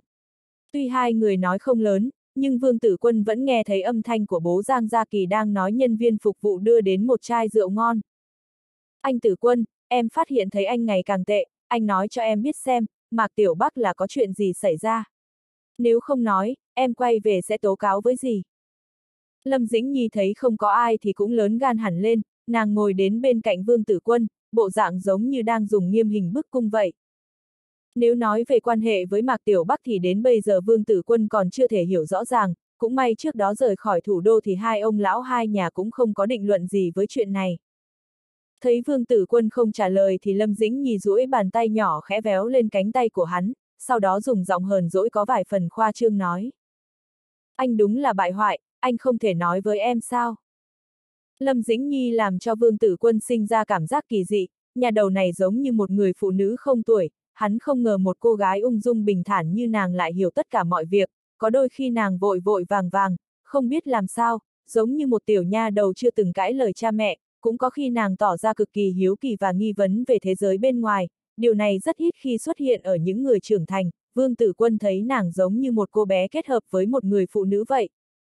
Trong suy nghĩ mâu thuẫn của Vương Tử Quân, tuy hắn có phần lớn khả năng xem nàng như một cô em gái, nhưng trong tiềm thức cũng khó thể liên lạc giữa nàng với vấn đề người yêu. Đặc biệt những ngày Lâm Dĩnh Nhi đến huyện Lô Bắc, nhà đầu kia thường xuyên hiện ra trong giấc mộng tươi đẹp của hắn, nhưng trong hiện thực thì hắn vẫn cố gắng tránh né. Lâm Dĩnh Nhi khi nổi giận thì gương mặt vẫn tươi đẹp, cặp mắt vẫn quyến rũ, khóe miệng vẫn dí dỏm, cặp môi mỏng hơi vểnh lên làm cho người ta sinh ra cảm giác muốn hôn. Nàng nhìn vương tử quân vào khoảng cách gần, thế là vương tử quân đành phải nở nụ cười với nàng. Đối mặt với cảm tình của nàng, hắn không thể thua, tất nhiên đây cũng không phải là cảm giác thành công, dù là tiếp nhận hay từ chối thì cũng không phải thành công, nó trái ngược với mục tiêu của vương tử quân. Nếu nói muốn thực hiện những mục tiêu trong đời thì rõ ràng cần nhiều lực lượng, vấn đề là hai người bây giờ đang ngồi đối mặt nhau, vương tử quân cảm thấy mình không thể nào tránh khỏi ánh mắt của Lâm Dĩnh Nhi. Thế là trong lòng hắn không khỏi sinh ra chút cảm giác vương vấn, hắn đưa tay ra kéo cô gái đáng yêu xinh đẹp vào trong lòng mình. Hai người dán chặt lại với nhau, tiếng hít thở của đối phương giống như truyền vào trong tai nhau, khi cảm giác này bùng lên thì vương tử quân chợt vô thức cảm thấy bàn tay của mình đặt dưới vạt áo của Lâm Dĩnh Nhi. Anh tử quân, anh đừng như vậy. Lâm Dĩnh Nhi cảm thấy bàn tay ấm áp của vương tử quân, thế là nàng chợt tỉnh lại trong lúc mê loạn, một lời nhắc nhở của nàng giống như làm cho đầu óc của vương tử quân thanh tỉnh hơn rất nhiều. Vương tử quân nhìn bộ dạng thẹn thùng động lòng người của Lâm Dĩnh Nhi trong lòng mình, hắn không khỏi thầm mắng, vương tử quân, mày làm gì vậy? Mày đã đồng ý chuyện hôn sự với người ta, vậy mày với Lâm Dĩnh Nhi là thế nào? Mày muốn hại nàng sao? Trong đầu chợt lóe lên ý nghĩ như vậy, vương tử quân chợt cảm thấy toàn thân đổ mồ hôi lạnh, nhưng khi hắn định vị mình và Lâm Dĩnh Nhi sẽ chỉ có thể là anh em thì trong lòng chợt sinh ra cảm giác mất mát khó tả. Anh tử quân, anh làm sao vậy? Lâm Dĩnh Nhi nhìn thấy vẻ mặt vương tử quân chợt biến đổi, nàng dùng giọng chú ý hỏi. Không, không có gì. Vương tử quân vội vàng phất tay rồi dùng giọng gấp gáp nói. Có phải là vừa rồi em nói gì không đúng, nếu như vậy thì anh tử quân. Em thật sự thích anh. Lâm Dĩnh Nhi giống như một đứa bé phạm vào sai lầm, nàng dùng giọng ngập ngừng nói với Vương Tử Quân, âm thanh ngại ngùng như tiếng mũi kêu. Tuy âm thanh của Lâm Dĩnh Nhi là rất nhỏ nhưng ý nghĩa của nó thế nào thì Vương Tử Quân hiểu rõ ràng, thế là hắn không tự chủ được phải dùng tay vuốt ve mái tóc bóng mượt của nàng. Hắn dùng định lực cả hai đời của mình, cuối cùng mới miễn cưỡng nói ra một câu. Dĩnh Nhi, chúng ta, anh luôn xem em như em gái của mình. Gương mặt thẹn thùng của Lâm Dĩnh Nhi chợt hóa thành ngẩn ngơ, nàng ngẩng đầu lên, ngón tay chợt điểm một cái thật mạnh lên trán của Vương Tử Quân. Anh đúng là, anh Tử Quân là khốn kiếp, là dối trá, anh nói xem em là em gái, vậy vừa rồi anh duỗi tay ra, là anh muốn làm gì? Vẻ mặt Vương Tử Quân chợt có chút lúng túng, hắn cảm thấy vô cùng xấu hổ vì lời phản bác của Lâm Dĩnh Nhi, thế là không khỏi nói lời xin lỗi, điều này làm cho Lâm Dĩnh Nhi cười vang. Coi như bỏ qua cho anh, nếu lần sau còn như vậy, em sẽ không bỏ qua cho anh. Lâm Dĩnh Nhi vừa nói vừa cầm lấy muỗng múc một miếng canh. Anh này, em mớm cho anh. Lâm Dĩnh Nhi chớp cặp mắt quyến rũ, điều này làm cho tâm thần của Vương Tử Quân có hơi lay động, hắn không tự giác được phải há miệng ra, nuốt phần canh không biết có hương vị thế nào vào trong bụng. Khi Lâm Dĩnh Nhi rút thìa lại thì cửa phòng bị đẩy ra, hai người Vương Tử Quân và Lâm Dĩnh Nhi vẫn ở sát bên nhau. Vừa rồi Lâm Dĩnh Nhi mớm canh cho bí thư vương, bây giờ vẫn còn có chút tư thế chưa thu về, cũng không muốn tách ra, bây giờ hai người mới chợt tỉnh ngộ, thế là dịch ra một chút rất lưu luyến và bất đắc dĩ. Nhưng lúc này người đi vào phòng không phải là ba người giang gia, chính là một người đàn ông trung niên béo tròn, hắn nhìn thoáng qua Vương Tử Quân và Lâm Dĩnh Nhi, sau đó vẫy tay với Vương Tử Quân rồi nói. Nghe nói cậu là người quen của Cục trưởng Trương, Cục trưởng Trương cho mời cậu sang gặp mặt chương 210, không muốn nói lời tạm biệt với em. Cục trưởng Trương Vương tử quân chợt không nhớ rõ cục trưởng Trương trong lời nói của đối phương là ai, lúc này hắn vung tay từ chối. Tôi không biết ai là cục trưởng Trương, anh đi nhầm phòng rồi. Người đàn ông trung niên này cũng không nhiều lời, hắn cười lạnh một tiếng rồi đóng cửa lại, sau đó hắn đi vào trong một gian phòng lớn, nụ cười lạnh lẽo trên mặt biến thành nụ cười sáng lạn vui vẻ. Lúc này bố mẹ của Giang Gia Kỳ đang chúc rượu cho cục trưởng, cục trưởng ngụy khuyến khích bọn họ làm việc cho tốt. Tên đàn ông trung niên vừa đi vào thấy tình huống mời rượu thì cười hì hì nói. Anh Giang, anh đúng là khoác lác, làm tôi phải chạy đi một chuyến, tôi vừa đến phòng của anh, tên kia nói không biết vị cục trưởng trương nào cả. Ngụy Sinh Tân đang chuẩn bị uống rượu thì vẻ mặt chợt biến đổi, ly rượu cũng được đặt xuống. Vẻ mặt hai vợ chồng Giang gia cũng trở nên khó coi, mẹ của Giang Gia Kỳ cảm thấy rất chán ghét, xem như lần này bị bạn của con gái làm hại rồi. Mọi người đang vui vẻ thì xảy ra chuyện thế này, chỉ sợ những cố gắng của bọn họ đến đây xem như phí công. Anh Giang, anh cũng là cán bộ lão thành, sao lại như vậy? Sau này anh nói chuyện cũng phải xem xét lại một chút. Ngụy Sinh Tân tuy mất hứng nhưng bây giờ là lúc mời khách, hắn vẫn áp chế được cơn giận và dùng giọng thản nhiên nói. Nhưng lúc này thái độ của hắn đã biểu hiện rõ ràng, cũng trách bố của Giang Gia Kỳ phải xem xét lại, sau này không biết hắn có xem xét ngược lại hay không. Bố của Giang Gia Kỳ chợt gật đầu mà thất hồn lạc phách, vẻ mặt cực kỳ u ám. Anh Ngụy, những chuyện nhỏ thế này cũng không đáng nhắc đến, nhiều chuyện sinh phiền, tùy tiện nhắc nhở là được. Trương Tân Dương phất tay với Ngụy Sinh Tân, sau đó khẽ cười khuyên nhủ. Khi địa vị của vương tử quân càng thêm vững chắc thì Trương Tân Dương được tự tay bí thư vương để bạt cũng là nước lên thuyền lên, lần này Ngụy Sinh Tân mời khách chính là đặc biệt đến vì vương tử quân, khi hai vợ chồng Giang ra đến mời rượu vì muốn cho Trương Tân Dương vui vẻ nên đã nói có một người bạn của cục trưởng Trương ở cùng phòng với mình. Tất nhiên lão không nói đó là bí thư vương của Ủy ban Tư pháp hay là chủ tịch vương, mà chính là tiểu vương của văn phòng khối chính quyền huyện Lô Bắc. Giang Gia Kỳ đứng ở một bên, thấy bộ dạng bố mẹ thất hồn lạc phách thì tỏ ra rất cẩn trọng, trong lòng lại thầm kêu thảm. Nàng cũng bất chấp đây có phải là chỗ mình có thể lên tiếng hay không mà nói. Cục trưởng Trương, anh Vương chắc chắn có quen biết anh, tôi đã từng thấy hai người nói chuyện với nhau. Sao, như vậy cô xác định tôi có nói chuyện với cậu ta? Khi nào vậy? Trương Tân Dương cũng biết rõ tình huống trước mắt, thầm nghĩ bây giờ con cái thông cảm cho sự khó xử của cha mẹ cũng không nhiều, thấy cô gái này lên tiếng nói thay cho bố mẹ thì cũng có chút cảm động. Hắn thầm nghĩ muốn giúp đối phương một chút, nói có quen biết với người ta cho qua chuyện cũng được. Khi bắt thịnh tiểu hổ, anh Vương nói với anh, cần phải cho anh ấy một câu trả lời hợp lẽ. Giang Gia Kỳ nói rất nhanh, nàng vừa nói vừa biểu hiện sự uất ức của mình. Trương Tân Dương chuẩn bị pha trò, đúng lúc nghe Giang Gia Kỳ nói về thời điểm bắt thịnh tiểu hổ, hơn nữa cô gái này còn gọi người kia là anh Vương. Thế là hắn chợt tỉnh táo trở lại, trong đầu chợt biết đối phương là ai. Trương Tân Dương chợt đứng thẳng người lên nói. Anh Giang, phòng của mọi người ở đâu? Mau đưa tôi đến đấy. Ngụy Sinh Tân cũng rất chú ý đến đoạn đối thoại giữa hai người, hắn thấy Trương Tân Dương chợt đứng lên thì cũng đứng lên theo. Trương Tân Dương thấy vẻ mặt nghi hoặc của Ngụy Sinh Tân, thế là giải thích. Đó là Bí Thư Vương. Một câu nói Bí Thư Vương của Trương Tân Dương làm cho vẻ mặt Ngụy Sinh Tân trở nên cực kỳ sáng lạn, hắn kéo tay bố Giang ra kỳ. Này, anh Giang, sao anh không nói sớm? Mau đưa tôi và cục trưởng Trương về phòng. Vài vị lãnh đạo cục điện lực thấy hai vị cục trưởng tỏ ra bộ dạng như vậy thì cũng cầm chai rượu lên, cầm theo cả thuốc, cùng tạo thành một đội ngũ đi ra khỏi phòng. Lúc này hai vợ chồng Giang gia thật sự u mê đần đột, trong lòng thầm suy đoán thân phận của tiểu vương, nhưng thấy bộ dạng sáng lạn của cục trưởng ngụy, lão thầm nghĩ đây có lẽ là chuyện tốt. Bí thư vương. Trương Tân Dương khẽ đẩy cửa ra, khi thấy vương tử quân đang ngồi bên trong thì vội vàng mỉm cười đi đến. Vương tử quân lúc này có chút giật mình, hắn thấy Trương Tân Dương và ngụy Sinh Tân dẫn theo một đám người đến chúc rượu, thề là không khỏi lắc đầu nói. Hai anh đúng là làm cho tôi ăn một bữa cơm cũng không yên, thế này đi, các anh mỗi người một ly, uống xong thì thôi, cũng đừng uống thêm. Vương Tử Quân tỏ ra tùy ý như vậy không những làm cho Ngụy Sinh Tân và Trương Tân Dương cảm thấy mất mặt, trong lòng còn cảm thấy ấm áp. Không vì thứ gì khác, chỉ là những lời như vậy cũng đủ để thấy Bí Thư Vương không coi mình là người ngoài. Hai người cũng biết tử lượng của Vương Tử Quân, thế là cung kính rót rượu và lui ra.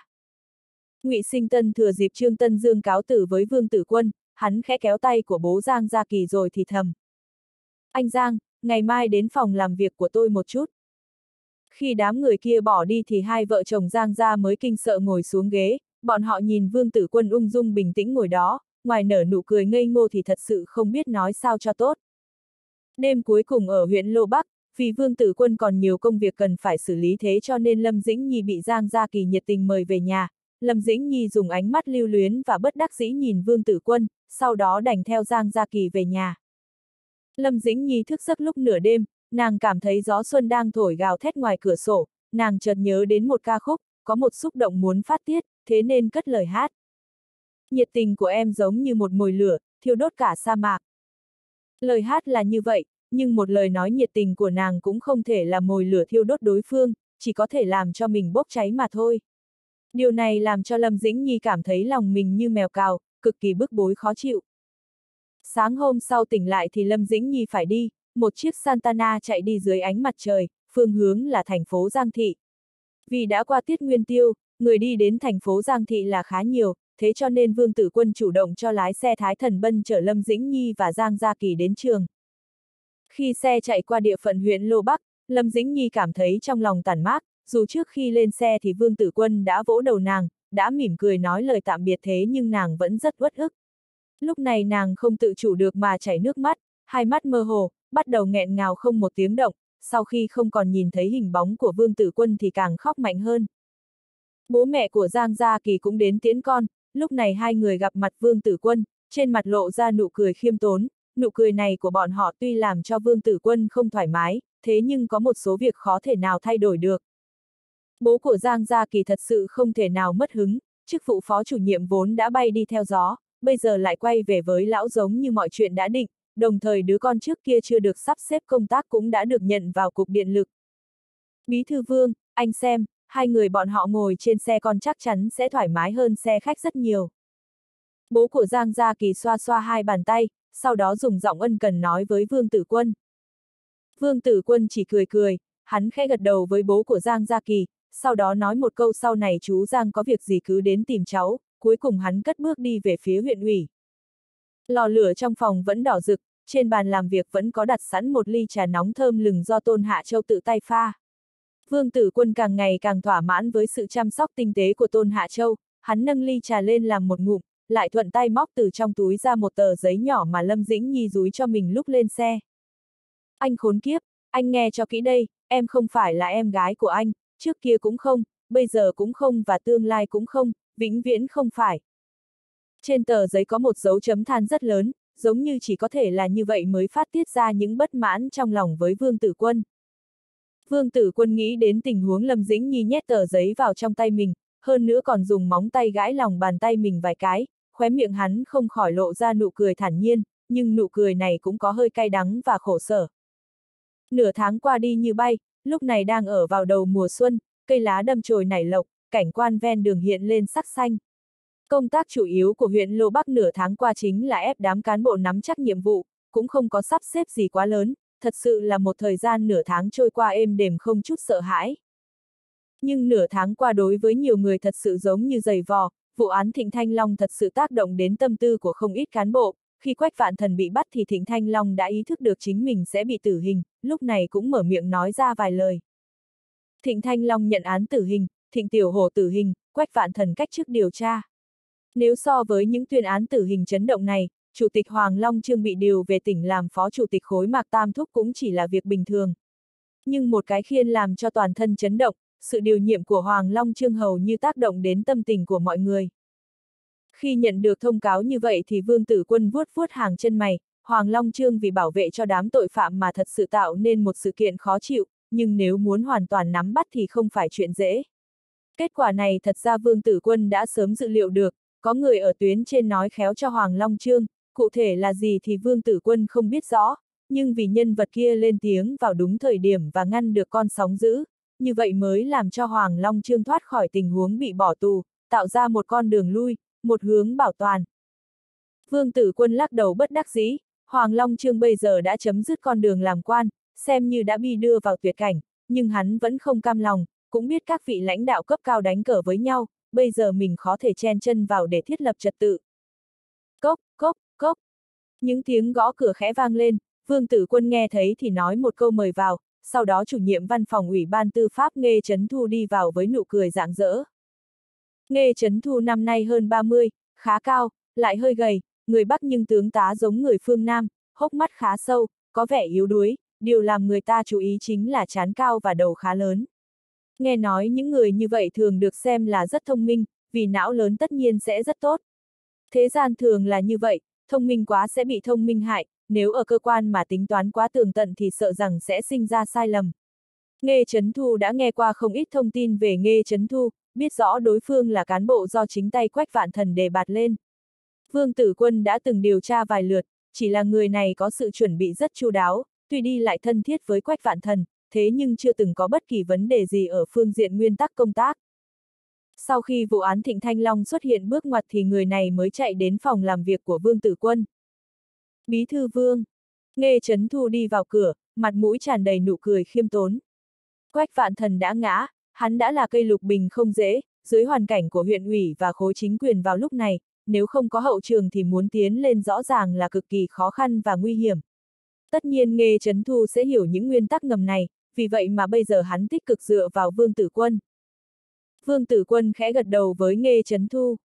Trấn Thu đến đấy à, mời anh ngồi. Tuy mỗi lần Nghê Trấn Thu đi vào phòng làm việc thì đều được Vương Tử Quân mời ngồi, thế nhưng mỗi lần như vậy Nghê Trấn Thu đều đứng đó, vẻ mặt rất kính cẩn. Bí thư Vương, khối tư pháp của huyện Lô Bắc chúng ta cứ 3 tháng là tổ chức hội nghị một lần, bây giờ đã hơn 2 tháng, anh xem có nên tổ chức hội nghị chủ bị hay không? Để cho văn phòng chuẩn bị trước. Nghe Trấn Thu báo cáo hai việc nhỏ của khối tư pháp, sau đó lại khẽ lên tiếng đưa ra một lời đề nghị cho Vương Tử Quân. À, vậy thì chuẩn bị một chút. Dù biết những hội nghị như vậy chỉ là cưỡi ngựa xem hoa, chỉ là các thành viên đi lại trong sân nhà mình nói vài lời bông đùa, nhưng Vương Tử Quân cũng không muốn sửa cũ thành mới, đánh vỡ thói quen. Đây là những chuyện rất khó làm và dễ sinh chuyện không hay, tuy có thể tạo ra danh tiếng nhưng thời gian dài sẽ vô tình bị người ta đẩy ra ngoài, biên giới hóa, lên cao lạnh lẽo. Vâng, tôi sẽ bắt tay vào chuẩn bị. Nghe Trấn Thu nói rồi khẽ đi đến trước bàn làm việc của Vương Tử Quân, hắn dùng giọng muốn nói lại thôi lên tiếng. Bí thư Vương, có chuyện tôi muốn báo cáo với anh. Anh nói đi. Vương Tử Quân nhìn bộ dạng thần bí của Nghe Trấn Thu rồi thản nhiên nói. Audio điện tử võ tấn bền. Hết tập 16